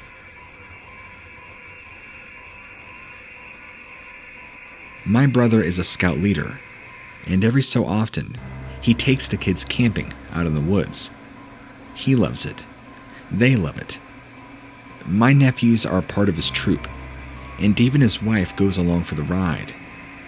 In the 15 years or so they've been doing it, they've never had more than a nasty case of poison oak. The occasional puking after too many s'mores and a bedwetter once in a while. So, when he came straight to my house the evening after a camp, with huge bags under his eyes, and looking paler than I'd ever seen, I knew something was up. Since I teach at the school where a lot of the kids attend, my first thought was that something had happened to one of them, and I was already dreading the terrible news. Thankfully, everybody was fine. It was just my brother that had the scare, and he had carried on more than usual in the morning, merely stating that he must have had a bad sausage, as he had been awake all night with terrible pains. They'd packed up and escorted all the kids home safely, ensuring they were none the wiser. Just feeling bad for him, and equally for his wife, as they giggled the tent must have been full of gas. His wife was now busy with laundry and stowing the equipment, so he had to come to see me. Lucky me. Turns out, of course, there had been a dodgy sausage, and sometime in the early hours, he crept to a toilet. On his way back, feeling better, he had smelt something terrible. Something like sulfur. He couldn't work out where on earth such a powerful and obnoxious odor was coming from, and how it had just suddenly appeared. Still, he didn't want to hang around to find out, since it was, of course, in the middle of the night, and he was standing in his PJs. He was about to head back to the warmth of his bed when he heard a low crunching sound, followed by a rumbling noise. As he was telling me this, although it hardly seemed possible given the state of him, he visibly paled even further. He explained to me it was a dog a large black dog that resembled more of a bear, being so big and powerful. He said it just stood there, head down and teeth bared, making this horrendous growling noise, and the smell of rotting eggs got even stronger. I could tell there was something more, though. Something he was holding back. A smelly wild dog would be scary, but he is used to animals he would know how not to make eye contact, no sudden moves, etc. That couldn't be the extent of what had him looking like death. To my utmost surprise, neither of us have followed the faith we were brought up with much anymore. By now, I was beginning to wonder if he was experiencing some sort of breakdown. There's more, he told me. The dog had evil eyes, as if it had come straight from the pits of hell. These demonic entities are supposed to collect the souls of wrongdoers and drag them back down to hell with them. If you happen to encounter one, it's either going after you or somebody close by. There's no way my brother is headed anywhere but the pearly gates. So I guess this creature must have realized it had made a mistake. It took a long time for my brother to get over it, despite me trying to reassure him that the thing had come for the wrong person. It was a close call, but not something I think he will forget. I'm not really sure what to make of it all. It's bizarre, but I try not to believe in such fairy tales. Although I can't refute what he said he saw, because it really affected him. And knowing my brother, he's not affected by things easily, nor is he the type to make kind of stories like this up. So, part of me believes him, I was camping at a favorite site in Tennessee. There was far more wilderness than there was campground, so you got a real sense of being close to the wild. It was the warm season, so it was expected that the nights would be unusually hot. But after a certain point, there is such a thing as too much heat that will make you suspicious, especially when it's accompanied by an orange glow. I woke up to all kinds of flickering light and heat pulsating through the thin walls of my tent. When I unzipped it, it looked as though I was in the middle of a blazing forest fire. The heat was suffocating, and I feared that I had woken up a few minutes too late to save myself. But I was still going to try. I couldn't think of anything more terrifying than being burned alive. The only thing that made sense in the moment was getting dressed to a point that I wouldn't be guilty of indecent exposure and having feet that would be able to run across the rough terrain. No sooner had I stepped outside of my tent, ready to run, than I was confronted with the shapes of animals that began emerging from the walls of fire. At first, I thought they were unfortunate creatures that had been trapped in the blaze, but it became all too apparent that they were something else. They were moving comfortably in the fire, and they were beginning to surround me. The closest thing I could compare them to were large wild dogs. Only dogs that had dark skin, stretched across rotting, throbbing muscles, and fire. Their tongues dangling all the way to the ground, and their eyes hollow and empty black holes, with this ember glow coming from within. For a few long moments, these demons or hellhounds, whatever the hell you want to call them, were far more terrifying than the fire I felt or the woes of experiencing pain and torment on a level that far transcend flesh. With that awareness, I dove back into my tent for something my grandmother's Bible. Something she had made me promise I would carry around at all times. As I dove back into my tent, I immediately jolted up outside of my body, waking up in my tent. Everything was fine, clutching that Bible close to me. I was covered in sweat and grime, as if I had just been in an actual situation I perceived moments ago. In fact, my skin was even still warm as if I had been very close to a fire. It was terrifying. I believe I had some sort of supernatural out of body experience, but I don't know what else you'd call it. The forest around me, that was once on fire just moments ago, was fine. Everything was dark, quiet, and serene, whereas just moments ago, everything was a blazing inferno. It was not a dream because how do you explain the grime, the heat? I was literally clutching this Bible that was in my backpack beforehand, which means that in this vision, or whatever I had, as soon as I pulled the Bible out of my backpack, this happened. I have no idea how to explain this. Even though this was many, many years ago, it still is hands down one of the creepiest hallucinations or experiences or visions I could possibly happen to me.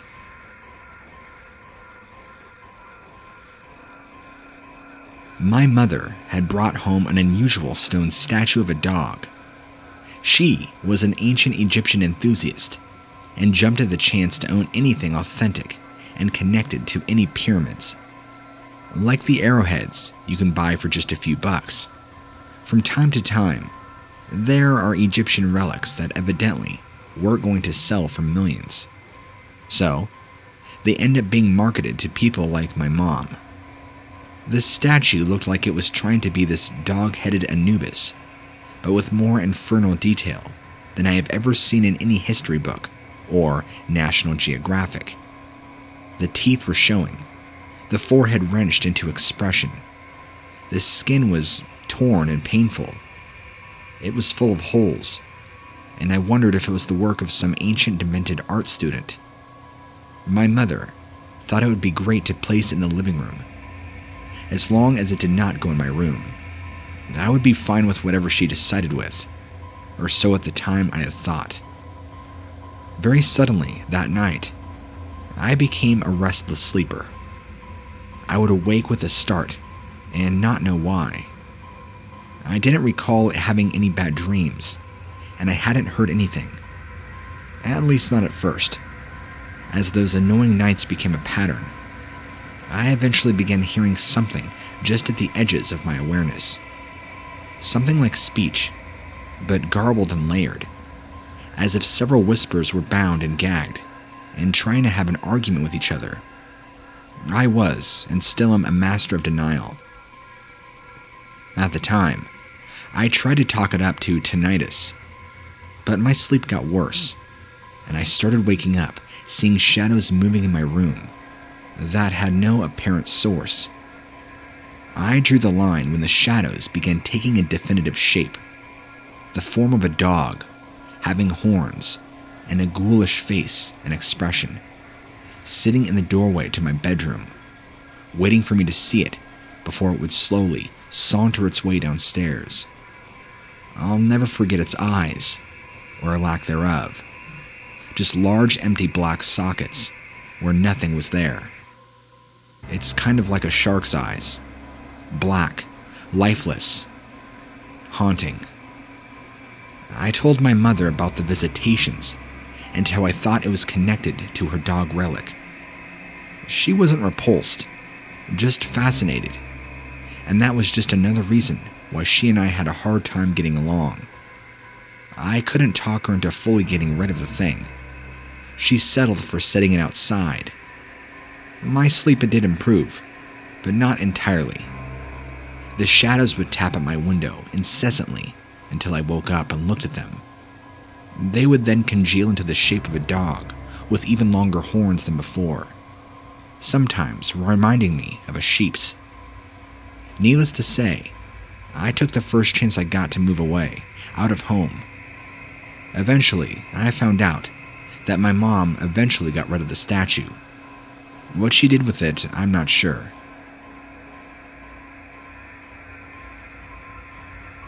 I had always wanted a dog, so when my parents finally gave in and got one years ago, I was ecstatic. They told me all about having responsibility, and I did. I love that dog with all my heart. My mom used to laugh that I had two moms now her and Millie.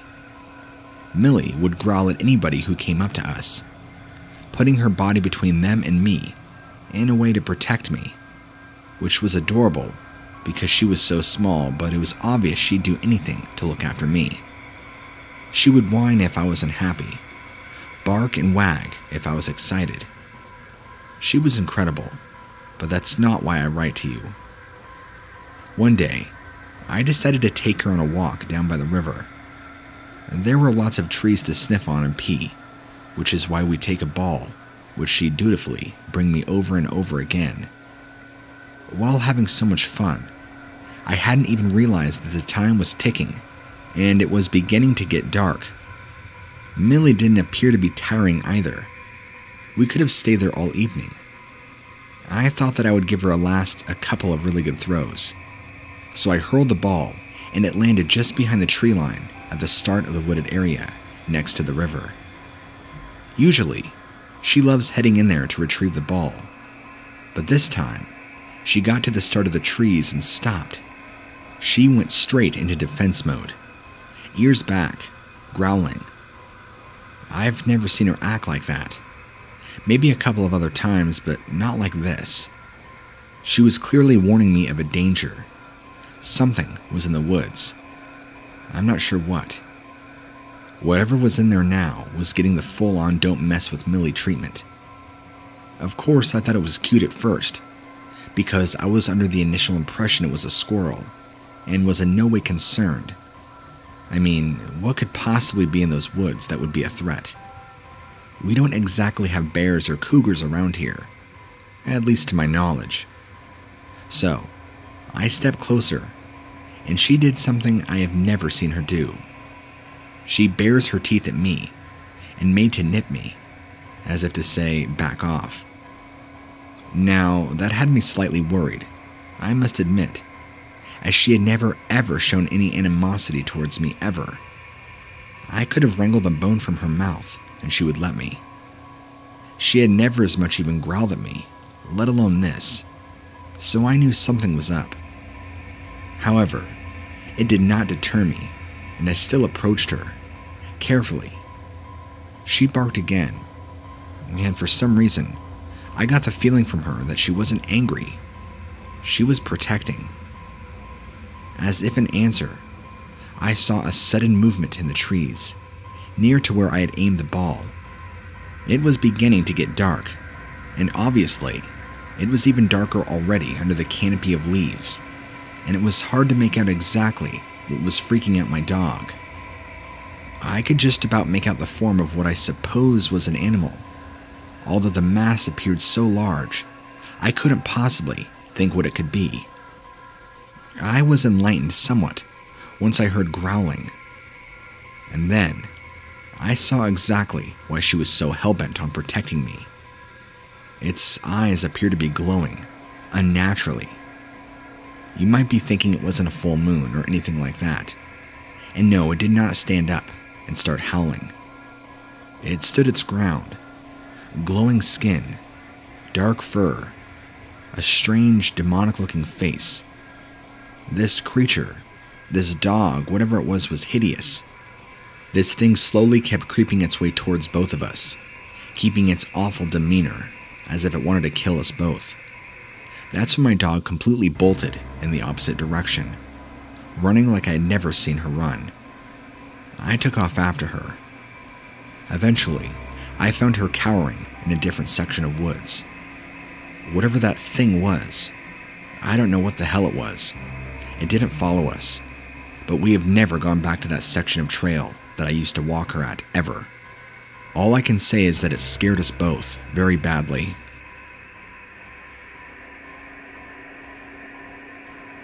Something happened to me a few years ago while I was driving home, and it's made me question the existence of all things, even hell.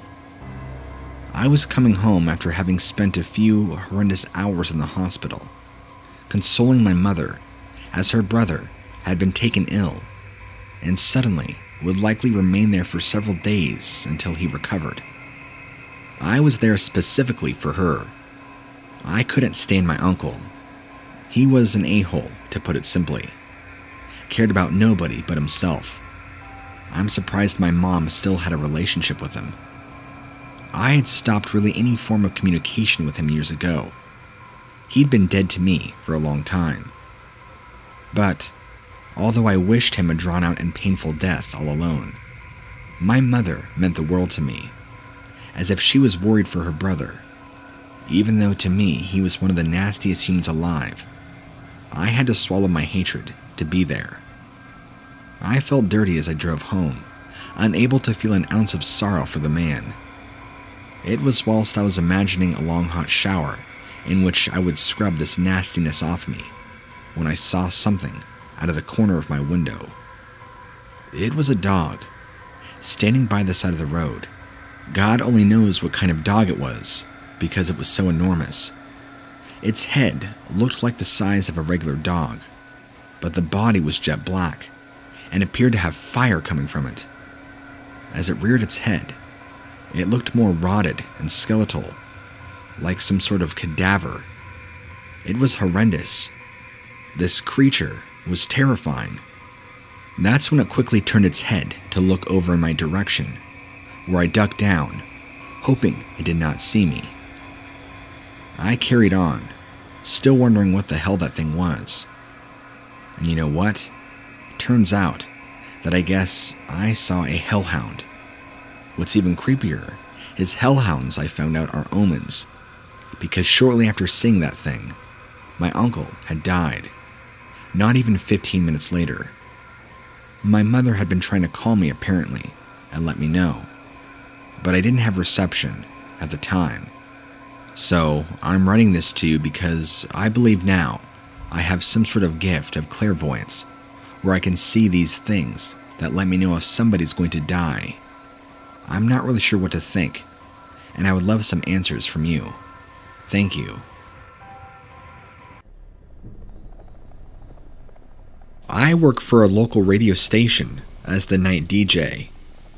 It suits me down to the ground, as I've always been a night owl, rather than a morning person. One of my favorite parts about the job, despite having done this now for well over 10 years, are the listener call in sessions. Considering I broadcast through the night, when the vast majority of regular people are fast asleep, you'd be surprised by the steady growth we've seen, not only of listeners, but interaction too. Not just people who have forgotten to turn off their radio once they've fallen asleep. I guess with the number of people working shifts these days, it sort of makes sense. The Collins, though, wow. We always talk about all kinds of stuff. But the thing that always gets me, the switchboard lit up, so to speak, is like when I ask about a spooky story. Who's got one? They range from rehash of old tales to weird and wonderful, every so often and downright terrifying. Being a Brit, most of the stories tend to be ghost related. Maybe that is just what we do best. But a few weeks ago, I received one of the most frightening and yet interesting tales of my entire career. The person calling wished to remain anonymous, but said that they had Native American heritage. They were British. Their mother was of Native American descent and had been over here studying when she had met her father, a Brit. Although they chose to live and raise a family here in the UK, their mother had included a lot of her culture into their upbringing. Stories and traditions and legends, dating back centuries of her own people. One of the stories that she had relayed to them was about those that are called skinwalkers. Being a Brit, although they embraced their mother's heritage, because they were literally the only child in their school and community with any sort of links to America. They were simply just stories. Stories which were fascinating by their own right, but didn't seem anywhere near as real as they might have done when they actually lived in the US. That changed. This kid was 17, and for the first time, they had to be left alone their parents had to head off to some charity convention, and it would finish too late to drive home. A quick note these parents were overly conservative, to the point to where they wouldn't leave their teenager home alone. Even at 17, it was a bit of a stretch for them. While I understand nowadays most are left home at 12 years old, if not younger, some people don't exactly have that luxury. They were a good kid after all, never been in trouble, and there were no wild parties. They didn't have any friends around or any booze to raid. They simply did their homework, hung out, and went to bed. Oh, and the other reason their mom and dad were happy to leave there was a Cloudy. Cloudy was their golden retriever, crossed with a husky fur baby, and Cloudy thought she was second mother to my caller. worshipped them, and their parents knew they'd be safe with their protector. So, when Cloudy began growling at around 3 in the morning, she was sleeping on their bed. They began to get an odd feeling, just as they were trying to work out if they were dreaming or not. You know, that fuzzy state you're in when you're suddenly awoken from a deep sleep.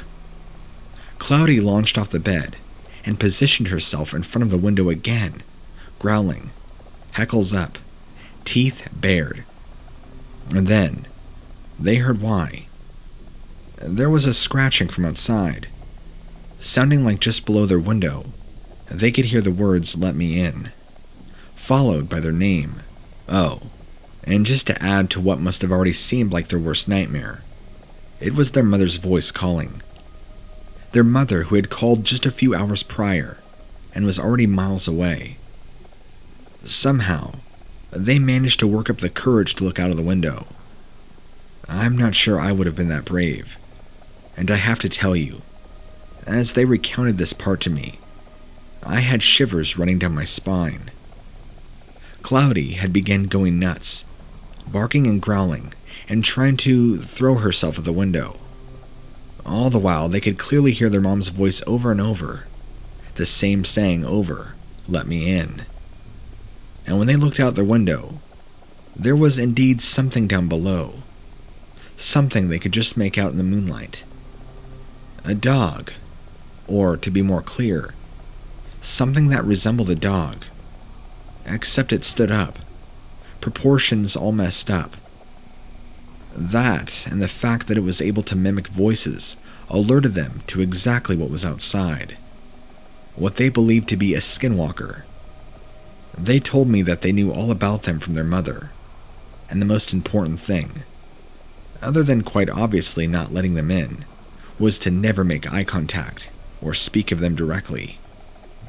If you did happen to look directly at one, that was how they could directly take over you, and how they could use you, mimic you, copy you. They were never entirely sure how this particular one ended up in the British Gardens, but when their parents came back the next day, their mom performed some traditional rituals, and since then, they haven't seen or heard anything again from these creatures.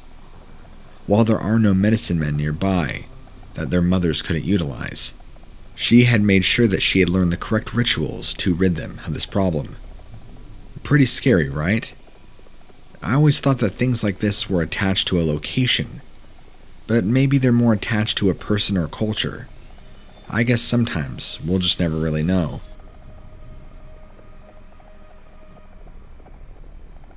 I live in part of the States where there are plenty of places that used to belong to the natives, and it's rife with stories and sightings of all sorts of things that their legends and traditions hold. Until recently, I treated those tales and stories with the same interest, yet disbelief is any regular ghost story, or even supposed UFO sighting. I find them fun, but I don't believe it it was always a lot easier that way too. Because, for me at least, if you don't believe, it's not real. And if it's not real, there's no need to be afraid. I like to keep fit, so being healthy in my body and mind is very important. But my body sometimes has other plans, such as a knee injury, which meant I wasn't supposed to go running on it for a while. I could, however, and was encouraged to, take long leisurely walks, and luckily for me, the place where I lived was littered with thick woodland and trails for walking. I'd wake up and put something on my phone like YouTube, put my earbuds in, and off I would go. Sometimes doing two or three hour walks at a time.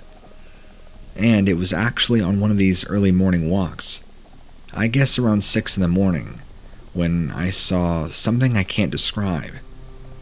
Because of the early morning hour, I like to get these walks in as much as possible before I come home and start work. I don't tend to see too much other folk. The occasional early dog walker, or even more rare, another jogger. Usually it's just me and the birds, and that's fine. But on this particular morning, I could clearly make out a shape in front of me. Now, I say clearly, and then shape. So let me clarify what I mean. I could see there was something not too far ahead of me, that it was rather large and moving. But we were well into fall at this point, and it was still fairly dark out since it was around 6 in the morning. Although I could see a shape, I couldn't exactly tell who or what it was. And the most odd at first, and then, the more I thought about it, quite frankly, the more terrifying about the shape was, and that it kept changing. Now, I know you're probably thinking that it wasn't changing, but as the sun was rising, it was becoming less in shadow, something like that. If you think that, that it just becomes a normal person or animal taking a stroll, just like me. But it absolutely had nothing to do with the sun or shadows. It's been a while since I messed about with my light, making shadow puppets but I was 100% sure that it simply was impossible to make something turn from the size of a large dog to a bear to a person and back and forth over and over. And you know what? Once my mind accepted what I was seeing, I turned back and ran. Knee be damned, I'd pay for that later, but I'd rather suffer with a messed up knee than stay there any longer. I honestly have no idea what that thing was doing there, but it just oozed evil and wrong, and I will not be going back on that particular trail again, even when my damn knee is better. And that's not the worst of it, because now I can't stop thinking about what else might be out there. Did I see a skinwalker? Are skinwalkers real? And if they are real, what else is real? does that mean everything in Legends is actually real?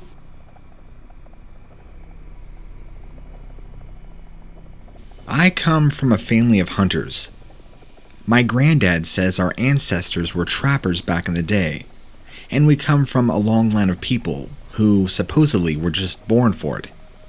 We've traveled all over the states to hunt different things, and have managed to take most stuff off the list. But there was one creature that remained unticked off the list. And, as surprising as it might be, doesn't mean it's not a hard animal to kill. An elk. Granddad hadn't managed one, and neither had Dad, and it was looking like his hunting days were at an end now, since his eyesight had gotten really bad. And even Mom had forbade him from using his gun, in case he shot himself. For whatever reason, my granddad and dad only stuck to hunting bear and deer. Nothing really else. I mean, a few things here and there, but why they never tackled elk, I'm not so sure. It was up to me to tick elk off that list, and I had the perfect plan.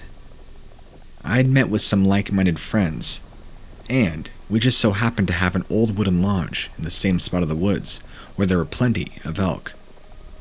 After heading up there, going through a hell of a drive, I didn't tell anybody where I was going. I wanted it to be a surprise. Everything is as my buddy had said. I'd make myself comfortable when I got there, ready to head off very early the next morning. There was a light dusting of snow, but I was prepped for that and had brought thick, thick, warm outdoor clothing. Anybody who hunts know you have to layer up in order not to freeze your buns off. Waking up the next morning, full of adrenaline and determination, I was going to make sure our family got that thick bag of elk. I dressed warmly and off I went, crunching through the snow, and was so excited to see elk tracks. I got myself in position, and luckily, my buddy already had a makeshift hide up there. And then I saw it. An absolute beast. It was massive. Hell of a lot bigger than anything I was expecting. It was facing away from me, and for some reason, I had the shot, but I didn't take it. Part of me wanted to look at it more, look at it in the eye, so if it couldn't see me, somehow, it would know who was the boss, who was always around. I waited, and then it turned. Now, I have killed many, many things. Obviously not elk, but other animals. My finger should have just been ready to pull that trigger, no matter what. But I froze up. Whatever in God's name that thing was in front of me, it wasn't a regular elk. It was already unusually large, and this wasn't the first time seeing an elk in the wild. When it turned, I saw its face. It looked distorted. I don't know how to describe it, but wrong. Its eyes looked different too, and it looked me right into my eyes, and I felt this ominous feeling it's really hard to describe. Its face is what will always haunt me. It made me just kind of want to walk off. And after that, I just gave up and left it be. I know there's really not much to my story, and that it might be kind of lame, but there's just something I can't quite put my finger on.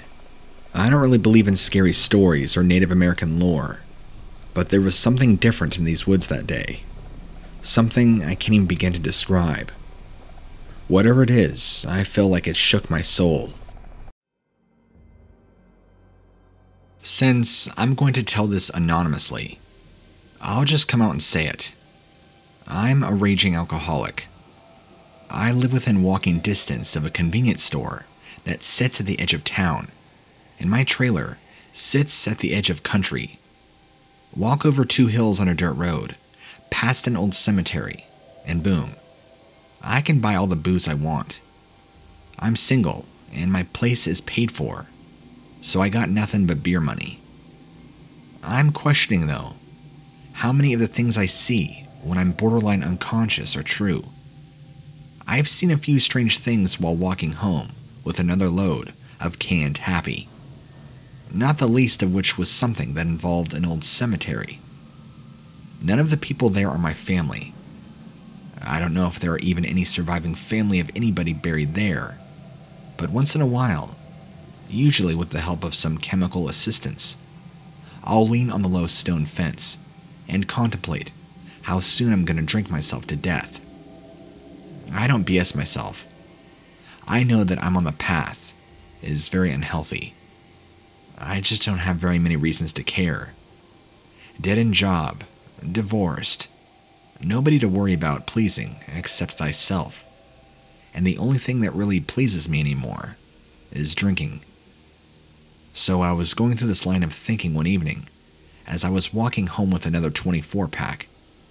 I felt like the act of walking was making the booze absorb faster, and I needed to hold still if I didn't want to vomit up all that hard earned brew. The only way in and out of the cemetery is through a large wrought iron gate, where there appears to be two stone cobblestone pillars, each having a small gargoyle sitting on top of them. I guess it's to ward off evil spirits and potentially wayward drunks.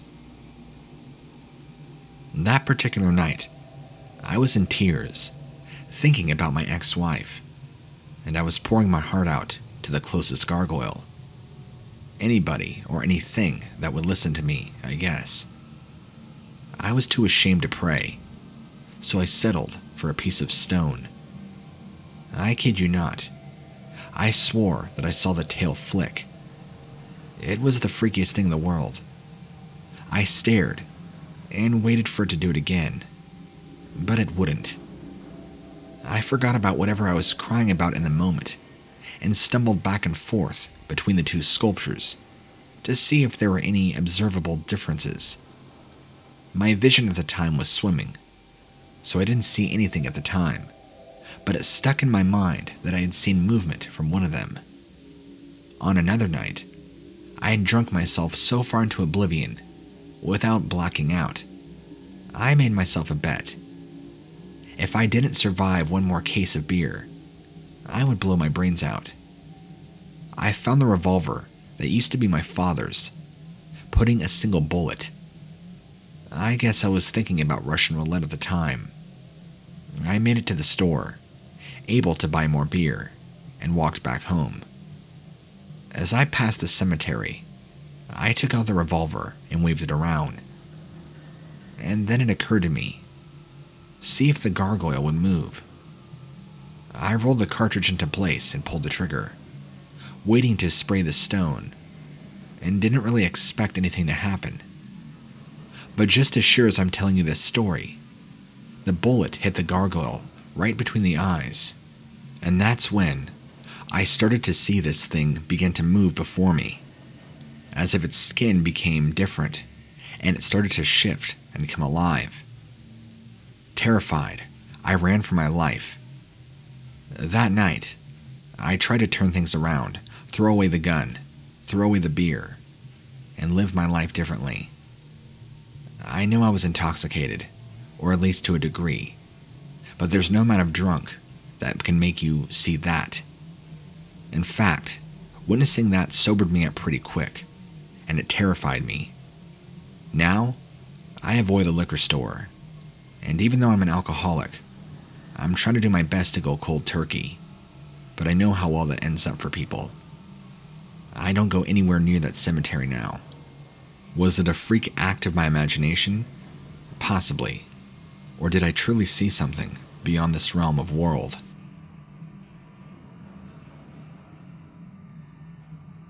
I'm a hitchhiker. I try to be responsible.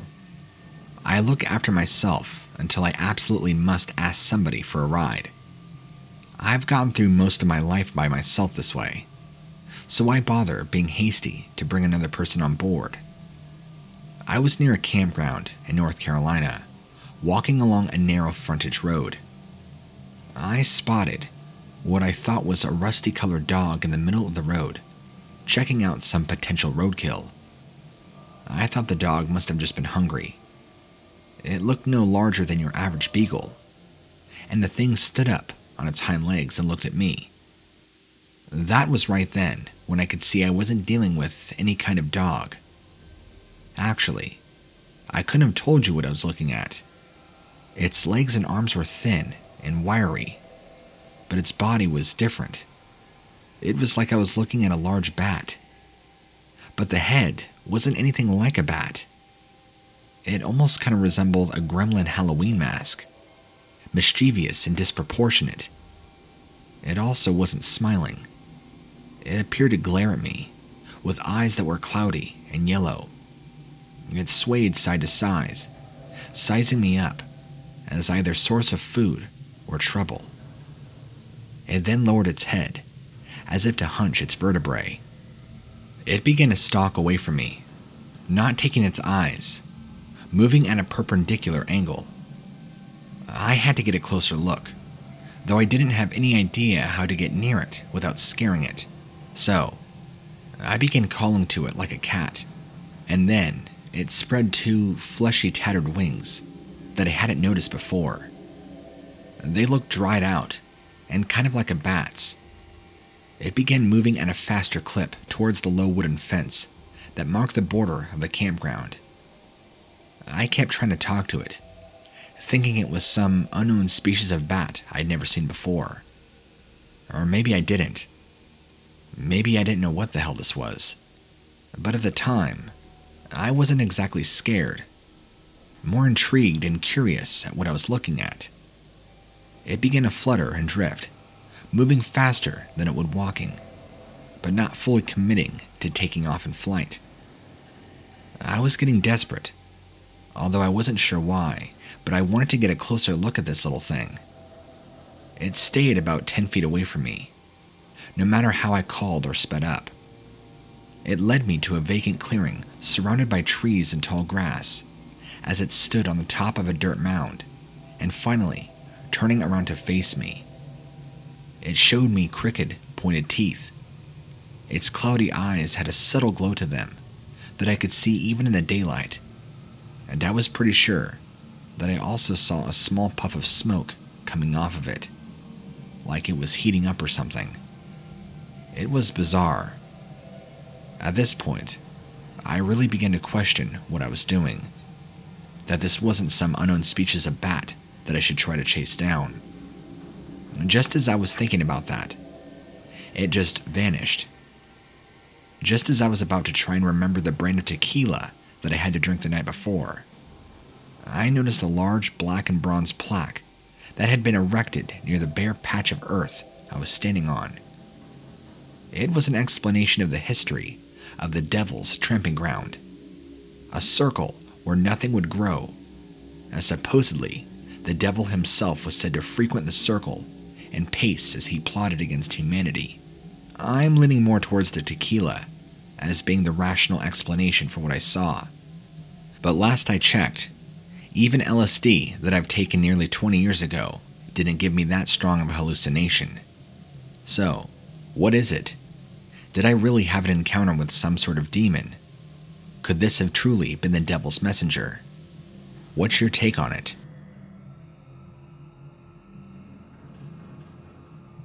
I'm an avid bird watcher, and I never get tired of birds, no matter how often I see the same ones over and over. I even use high powered binoculars wherever I go. I appreciate birds that hold still long enough for me to get a decent look at them Buzzards and similar soaring birds are my favorite, just because they glide slowly enough to be observed in flight. They have a whole different energy when they're in motion like that. I came across a funnel of vultures that were passing the time riding thermals up into the sky. I was delighted, and I raised my binoculars to the sky. They were turkey vultures, hideous and majestic at the same time but my trance was broken by a commotion at the top of the funnel. Among their black shapes was something bigger and more lightly colored. It seemed to be harassing the vulture closest to it. Its movements, although quick, were able to keep a stable view of its challenge. It looked to be every bit the size and shape of a young adult human being, but its hands and feet appeared to be anything but human if it were covered in feathers. They were gray and white, marking its tiny black eyes, standing out starkly as two little pinpricks of darkness. Strangest yet was its mouth, a round circle, making its face look like a feathered gas mask. Its wings resembled an eagle's, and its feet had terribly long scythe like talons. The vultures seemed unsure how to deal with this intruder. The thing managed to bag one of them, and it flew off with its writhing and squawking catch. Once it was out of my sight, I began digging up anything and everything I could find about cryptids, and nothing remotely matches what I saw. It wasn't the Mothman, Thunderbird, Jersey Devil, anything. It was a beady, black eyed, circle mouthed nightmare. Please, help me identify this strange, bizarre creature. And if you could, maybe you could read this to your listeners, so maybe I could have some help identifying what exactly I saw. Thank you for your time.